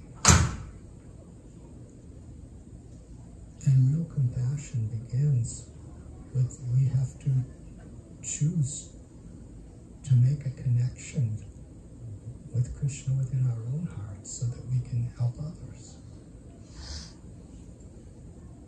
How many of you drive cars? Please raise your hand. How many drive electric cars? Gasoline cars? Okay. Well, if you drive gasoline cars or electric cars, you could drive and you could get to where you're going. But you have to stop to either recharge or refuel. If you don't, and you have, to, it's not that you just do it once. and then you, if you're driving from Alachua, Florida to, to um, Seattle, Washington, that's a few thousand miles. You know, probably a couple times a day you have to stop. Even though you like just driving and it seems like you're not you're not making as much progress. When you're driving, you're going 65 or 70 miles an hour, you really may think you're making progress. Why should I stop? Hmm. And with electric cars, you have to stop for like a half hour to get a recharge. Gasoline. But if you're not refueled, you can't keep going. So sometimes we get so caught up with, with our life, maybe our studies, our career, our relationships, whatever, or even our service. We don't understand the importance that we need to spiritually be recharged. Hmm. And that's what our sadhana is. Our sadhana is a time when we, we actually have to stop everything else we're doing. Hmm. And that's actually what's hard about sadhana is you have to stop everything else that you that you may like to do or be passionate to do or feel obliged to do. And just, and just be with Krishna. Be with Krishna's holy names. Be with Srimad Bhagavatam, Srimad Prabhupada's purports. Be with the deities. um, in order to be spiritually empowered, charged, this is really important. And then we have, if we do it with the right consciousness, I'm not just doing this because I have to, I'm doing this because this is, this is where I'm dedicating a time of my life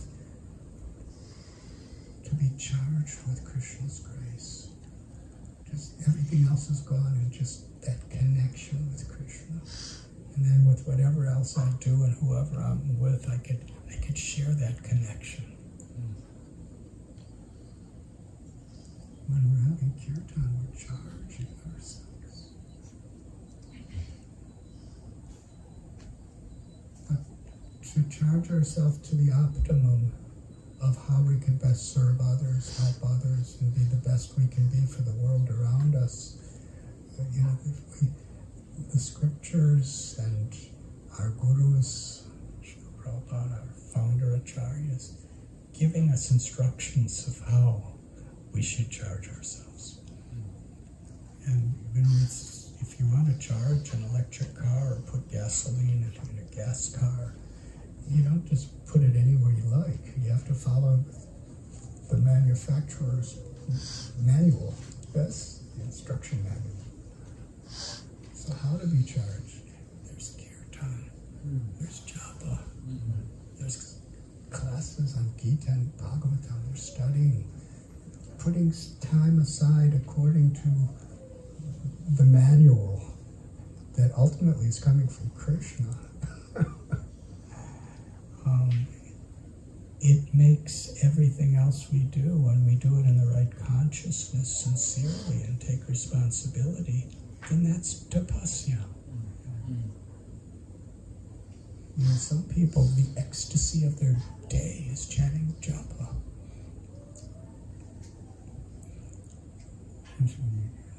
When I was a teenager, I was actually 20 at the time, I was living in the place for several months with one of Srila Prabhupada's godbrothers. His name is Krishna Das Babaji Maharaj. And he would sit in the temple for three hours, three or four hours every day with a little mridanga just chanting all by himself. Because I had typhoid fever, I was just sitting with him for four months every day, just sitting there. And all the rest of the day he was chanting japa. And sometimes in the middle of the night when I would have to go to the latrine, I would walk by his room and hear him, Hey, Krishna, Hey Krishna, Krishna, Krishna, Hey, Hare. And, um, you know, he told me when he, when he was asked, um, it wasn't an austerity for him. It was like a great austerity for him to do anything else. because he was just feeling the presence of Radha Govinda in the holy names. And he just loved it. He just higher taste. So whether we're doing it to purify ourselves or whether we're chanting as an expression of love in a pure state, because we have made loving Krishna and being an instrument of Krishna's love with our families and with the world our purpose, then we actually take responsibility towards favor. And that's really what sadhana is. It's, it's giving us a special connection of Krishna's grace, our Guru's grace, Srila Prabhupada's grace, that we, the, the grace of the whole parampara that we can share with each other and share with the world.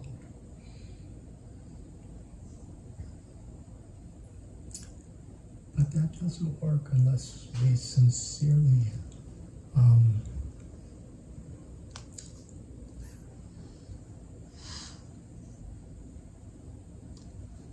sincerely discipline ourselves to live with good character. And what I, in, in many ways, the younger generation from our generation, I see in certain ways special wisdom that all of you have. Because, you know, there are, as we all know, there are examples of people who may have been very strict with sadhana, but did not live with Vaishnav character. Vaishnav character really means to really care about uplifting others. To really be thinking of oneself as servant. Prabhupada said when he was asked, How do we know who is a devotee? He said, Because they are perfect ladies and gentlemen. Because he was speaking to somebody that was the language they understood. In other words, they live with Vaishnav character. And when we read Srimad Bhagavatam and Sri Chaitanya Charitamrita, what is the character of those devotees? They're really compassionate, they really care. They don't unnecessarily um, criticize each other or hurt each other selfishly um, neglect each other or to speak of abuse each other.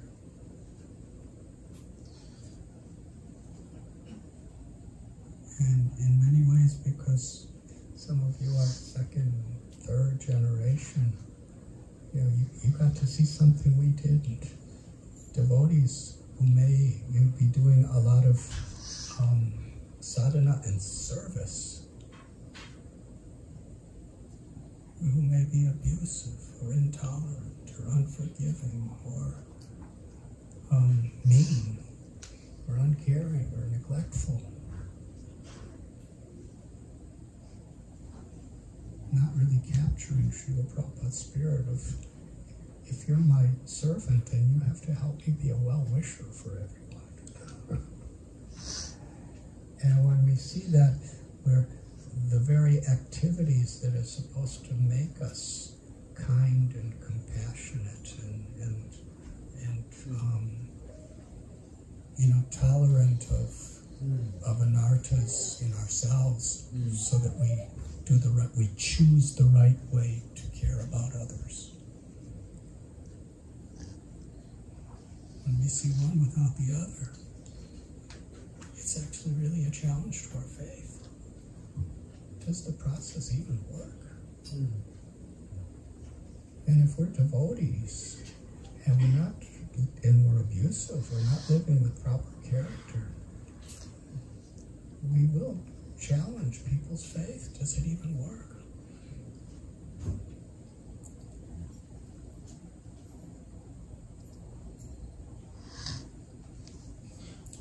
And we have seen many tragedies among devotees in our generation.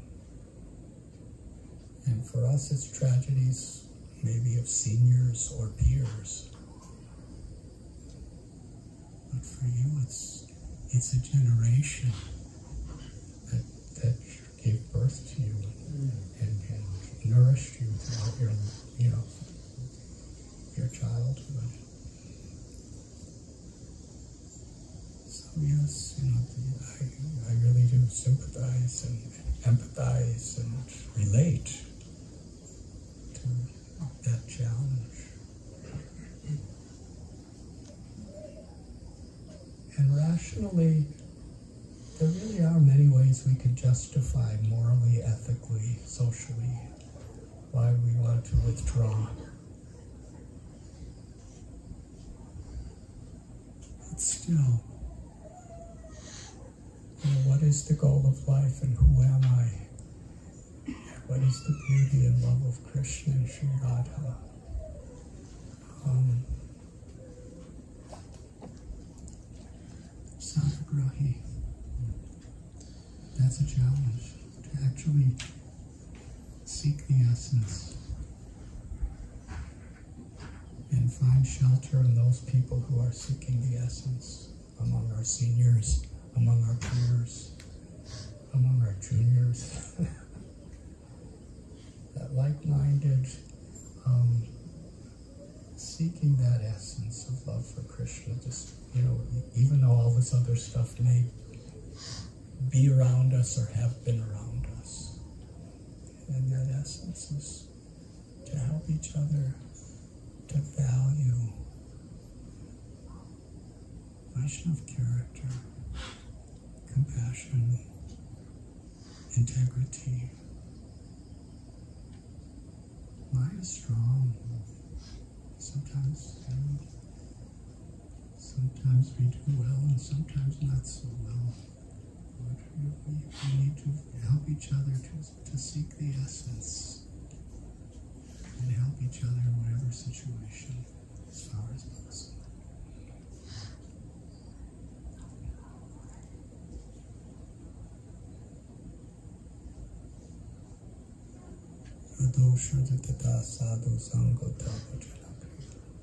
Because at the beginning there's faith. And in many ways, every stage of advancement in bhakti is strengthening and deepening our faith. That Krishna's all merciful. Krishna's the Supreme Personality of Godhead.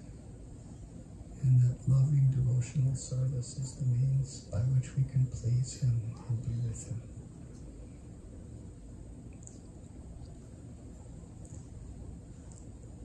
That like-minded association and that seeking the essence is like a compass that can help us make spiritual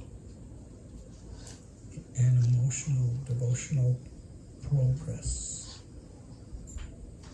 When it's a very calm sea or whether or, or times when it's very dark stormy seas with thunderbolts and lightning and sharks circling around us. Srila Prabhupada was on Jaladuta. Later on, he said, when there was really big storms and huge waves, and he's in the middle of the Arabian Sea, which, as far as you could see, there's just water. He said, I felt that the boat was like a little matchbox being tossed away, tossed around by the waves of the ocean. Mine is very strong.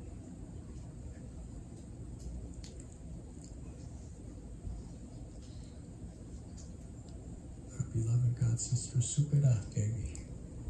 I think she's leading the Vaishnav care um, Sangam here at New Raman And um, please, if, if you have time, talk to her and be connected in, in this effort as a community to really try to care for each other. Now, Lord Chaitanya, is the ideal devotee. We were speaking um, a couple days ago when his, when the other devotees would come to Puri, he didn't just lead them in kirtan. He arranged comfortable residential quarters for each devotee. Now that's kind of physical. You know, that means he was taking, he was really caring about their bodies.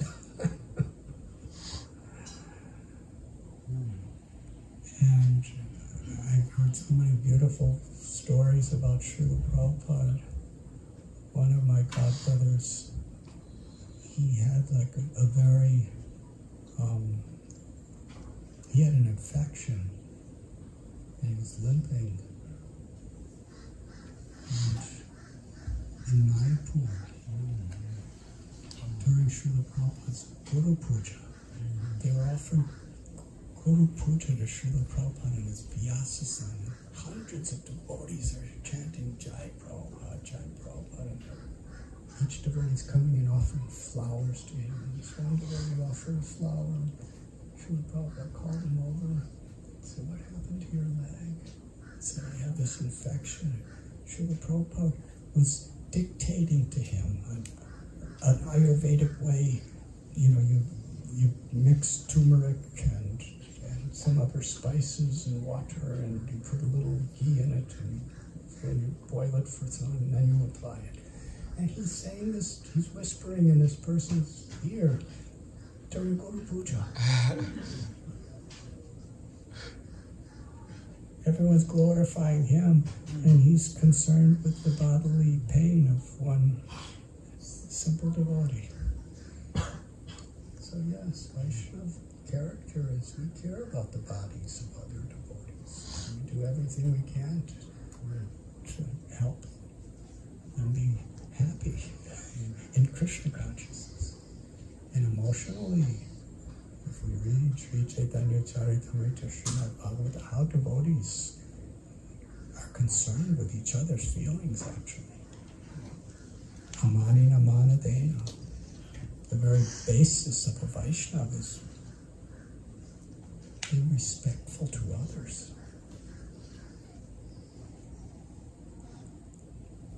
My encouragement. I understand. That's Vaishnava character. And of course, it's all ultimately for the purpose of awakening the love of Krishna that is our greatest potential and our only happiness, and the only thing that's actually real.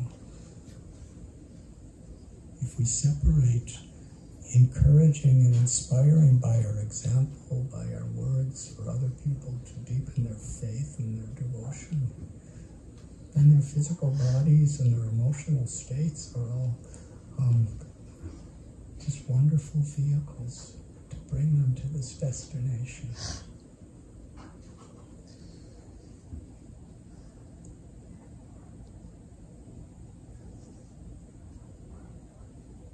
In certain ways,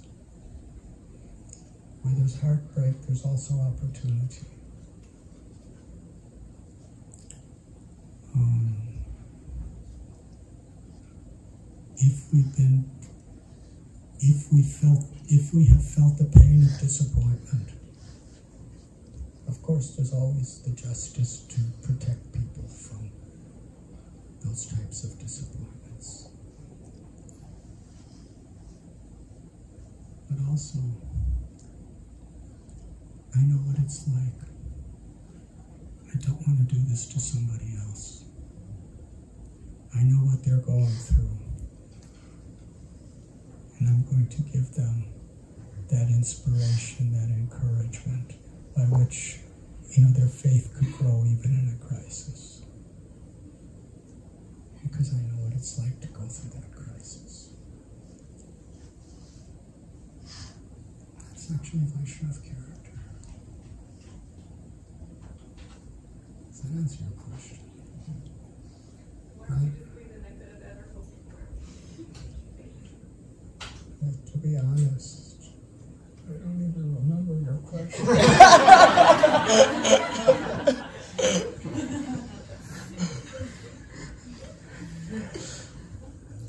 it's part of getting old. you, could, you could laugh about it. Would you like to say something? I think you covered it. That means I spoke. I, I went over it. Everything that could be said in a relationship was how to encourage others, right? That was the Yeah, how, how to care for others, how to help them to connect with their true self. For so many people, that can be such a, a daunting task. How to love and serve others. I think Maharaj was said many things, but he hit on the essential point is take time and uh, encourage them in the way that they can be encouraged. Look, look for the good qualities, and then try to bring out those good qualities even more. When we find fault or criticize others, it just makes them either defensive or unhappy. It Doesn't really help to bring out the, the solution to the problem. When I, was, I would spend time with Bhakti Tirtha and he was really good with helping people. I would see devotees would, I would be outside his room, and devotees would come, sometimes one, sometimes a group. And then they would come out and they would be really enlivened and inspired. So one time I asked him, I said, What do you tell them? he He said, I don't say much. I said, I just listen. They want to be heard. They want somebody that, that cares for them. And we care. We actually do care. And that was the point he made. But in caring, he allows them to express themselves. And by that expression, they feel somebody cares. You take, by taking that time, by taking that uh, concern, they can feel that. And that's, you know, in the in this age that we live in, where so many things are going on, we have so many things to do. We have to make time to do that, and it's become something that we have to really put our concentration, because actually, Srila Bhakti Siddhanta Saraswati says very powerful statement. At first, I couldn't understand it, but then after thinking about it, he says the person who takes time on a one-to-one basis, this is a paraphrase, can do more good than the platform speaker. Uses that word. In other words, taking time individually has more long-term effect in helping people. And he uses a comparison then giving a lecture. Of course, we do that, and that's also important and has its benefit. But then when when something is done in that way, people they want to be cared for, especially when they have problems. And that's the most important thing. To be there, to be to give that care. And a lot of times you don't do really much. You just allow, allow them to express themselves. And a lot of times they find the answers to their own problems just by expressing themselves. And many that many times that's the problem. They don't have an opportunity to really express themselves in the way, the way they want to. So just, and I saw that with Radhanath Maharaj, he does that all the time. He, he gives quality time to people on a day-to-day basis and, on, and on, in, a, in a, a very, what we say, deliberate way. He'll take time with people, and that's that's our that's our movement. Personal, very personal.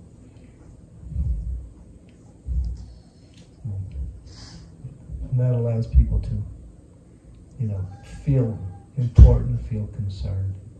That's very important. And, and bringing person out of their, you know, struggles or even out of their depressions or whatever problems they're having. Half of the solution, maybe even more, is just taking the time for others. And not finding fault, but picking up the good qualities and enhancing that.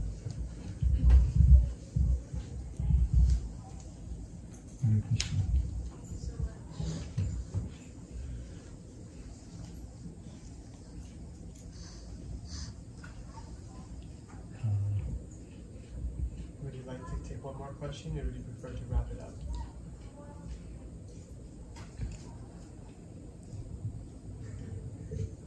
What is your wish? I never saw Maharaj want to wrap up anything. he, he loves association with devotees. He can do it for hours and hours and hours and hours. This is a well wisher. My nature is always to find a cave to be alone. Perhaps there's one more pressing question, or Is there a pressing question? But you're not the second generation.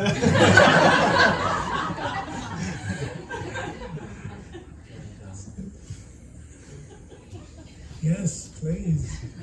Sorry. You're like the queen of the second generation. Well, thank you both for for what you shared, especially the last bits really touched my heart. And um, my question is, you have both you were both speaking about the simplicities and complexities that you've experienced in your youth, and then uh, in your friendship and in ISKCON like that, and how to on um, looking for the good, encouraging others. What keeps you encouraged in your devotional service um, and fixed on your sadhana after having experienced so many rising and falling and com- complexities within ISKCON, and how do you um, choose to lead um, with that compassion? And how can we follow in your footsteps?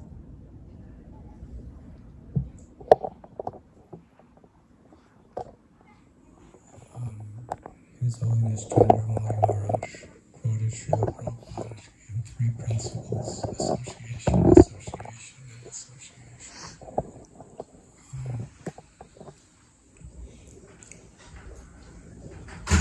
to seek the association of people who encourage our faith, who encourage our determination to follow. And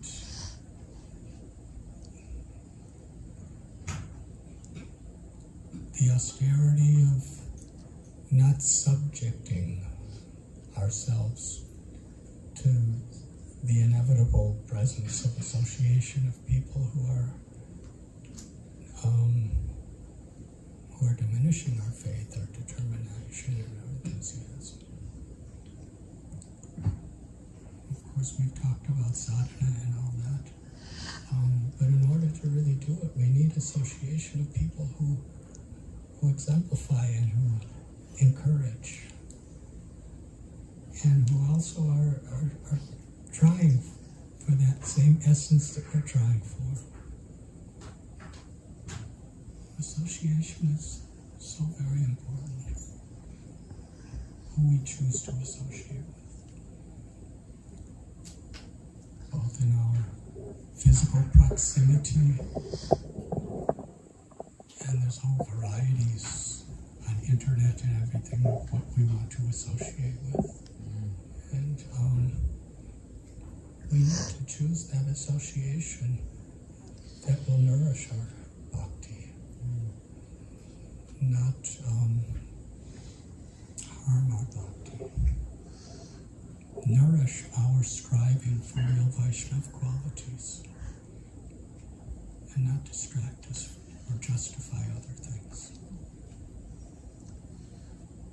Does that kind of answer your question? Some of it, And how, how can we take on the baton of leadership in that role um, of seeking the essence of uh, living compassionately, of giving our ear and our time to others, and really mm, adelantando, mm, moving, moving that movement forward the way Prabhupada envisioned, or the way you you both envisioned. Srila Prabhupada told us that we will make advancement in Krishna consciousness in proportion to how we accept responsibility. We have our own personal responsibility when we take initiation. It's not that at initiation there's just like a thunderbolt of liberating energy that comes to us. Srila Prabhupada would explain initiation means the beginning. we take vows, and on one level, the taking of the vows is to impress upon ourselves how, we, how responsible we are to following the process of devotional service. And to guard against the ten offenses to the holy names. That's very much a part of our um, initiation. We're taking a vow to really try to strive to follow these principles. And in certain ways, and this I'm giving what I the way I see. And Srila Prabhupada formed this ISKCON for us. It's the house that he built, it's his movement. And with all its faults and all the tragedies it's gone through, um, for many of us, whatever may have been or whatever may be, we're taking responsibility to, to assist our gurus of Srila Prabhupada in making everything the best it can be. We take response. A, a good mother and father takes responsibility. Krishna has entrusted this child to me. It's not a matter of just what I feel like or what I don't feel like. It's a matter of what is best for this child. That's responsible. A husband and wife take responsibility for each other, physically, emotionally, and spiritually. A disciple takes responsibility to follow the, the, the, the spiritual principles as well as assist in the mission. We're taking responsibility to assist with the mission of our gurus. And as a movement, we're all trying to take responsibility in whatever role we are to help Srila Prabhupada's purpose to be fulfilled. So, um, yes, the sense of responsibility comes down to the choices we make, our lifetime choices, which are expressed in our moment to moment choices.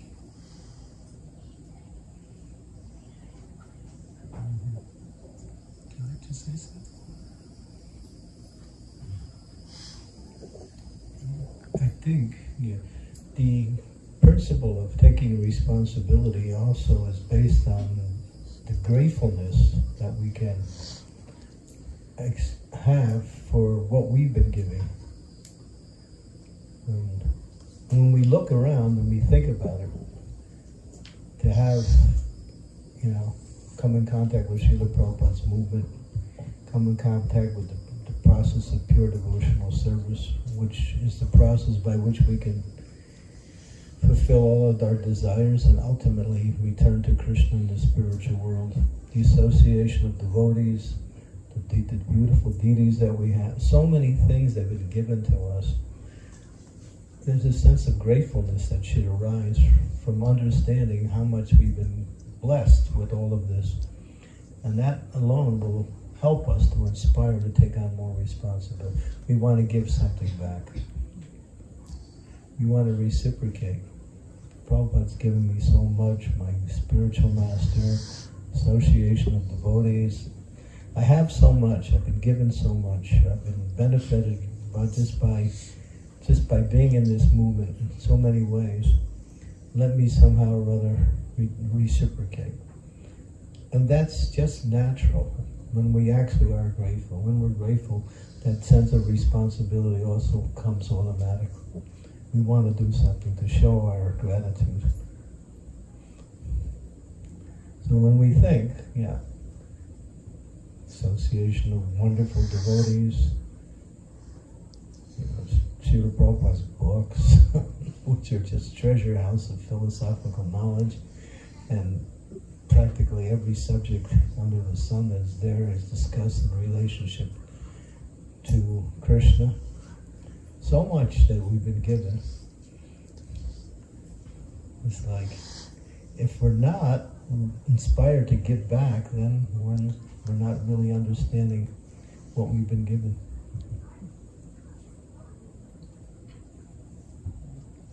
We've all been given so much. to come in contact with Srila Prabhupada and, and this movement is is so rare and so valuable, and it's the, the principle of ultimate happiness and success in life. But that's rare to have that opportunity. So when we reflect on that and think, oh, yes, I mean, I, I think if I didn't become, you know, if I didn't take up Krishna consciousness, didn't have the opportunity to meet devotees and get involved in Krishna uh, you know, I, I would be, I wouldn't even be here right now. I'd be finished. I would have died long ago. That's a fact. That I understood by my experiences. So this movement is just so rare and so special. And Srila Prabhupada made it even sweeter by his mercy. And And then he's he's representing Sri Chaitanya Mahaprabhu, who is in Karuna Avatar, Namo Mahavadanai Krishna Prema Padayate Krishna Krishna Chaitanya Namari Gauda Maha. And Lord Chaitanya is so kind, so merciful. He is allowing us to perform this, I mean, difficult process of self-realization in such an easy and wonderful way. That's that's a lot of mercy given to us. So we should be thankful for that. And that thankfulness is the inspiration for keeping us inspired to do more and more in Krishna consciousness. Especially giving that same opportunity to others, which is the perfection of our way to show gratefulness.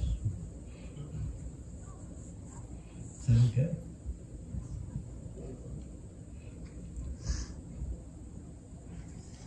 Hare Krishna. Thank you very, very much.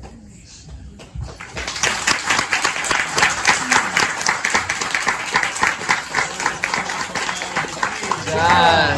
Sanjay Maharaj ki Jai. Jai.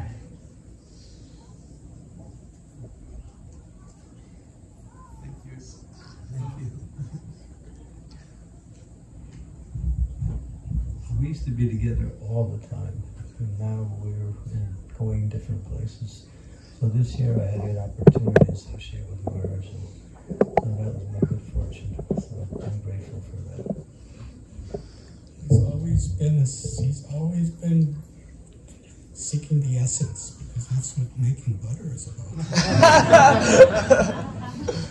Well, until you take that and put it on the bread, and then it even becomes higher. because butter is the essence of milk. Krishna is, is nothing short. he likes very much. Thank you, Mara. Hey, Hare Krishna, Hare Krishna. Thank you, everyone, for tolerating us for so long. We're so grateful for both of your visits to Alachua.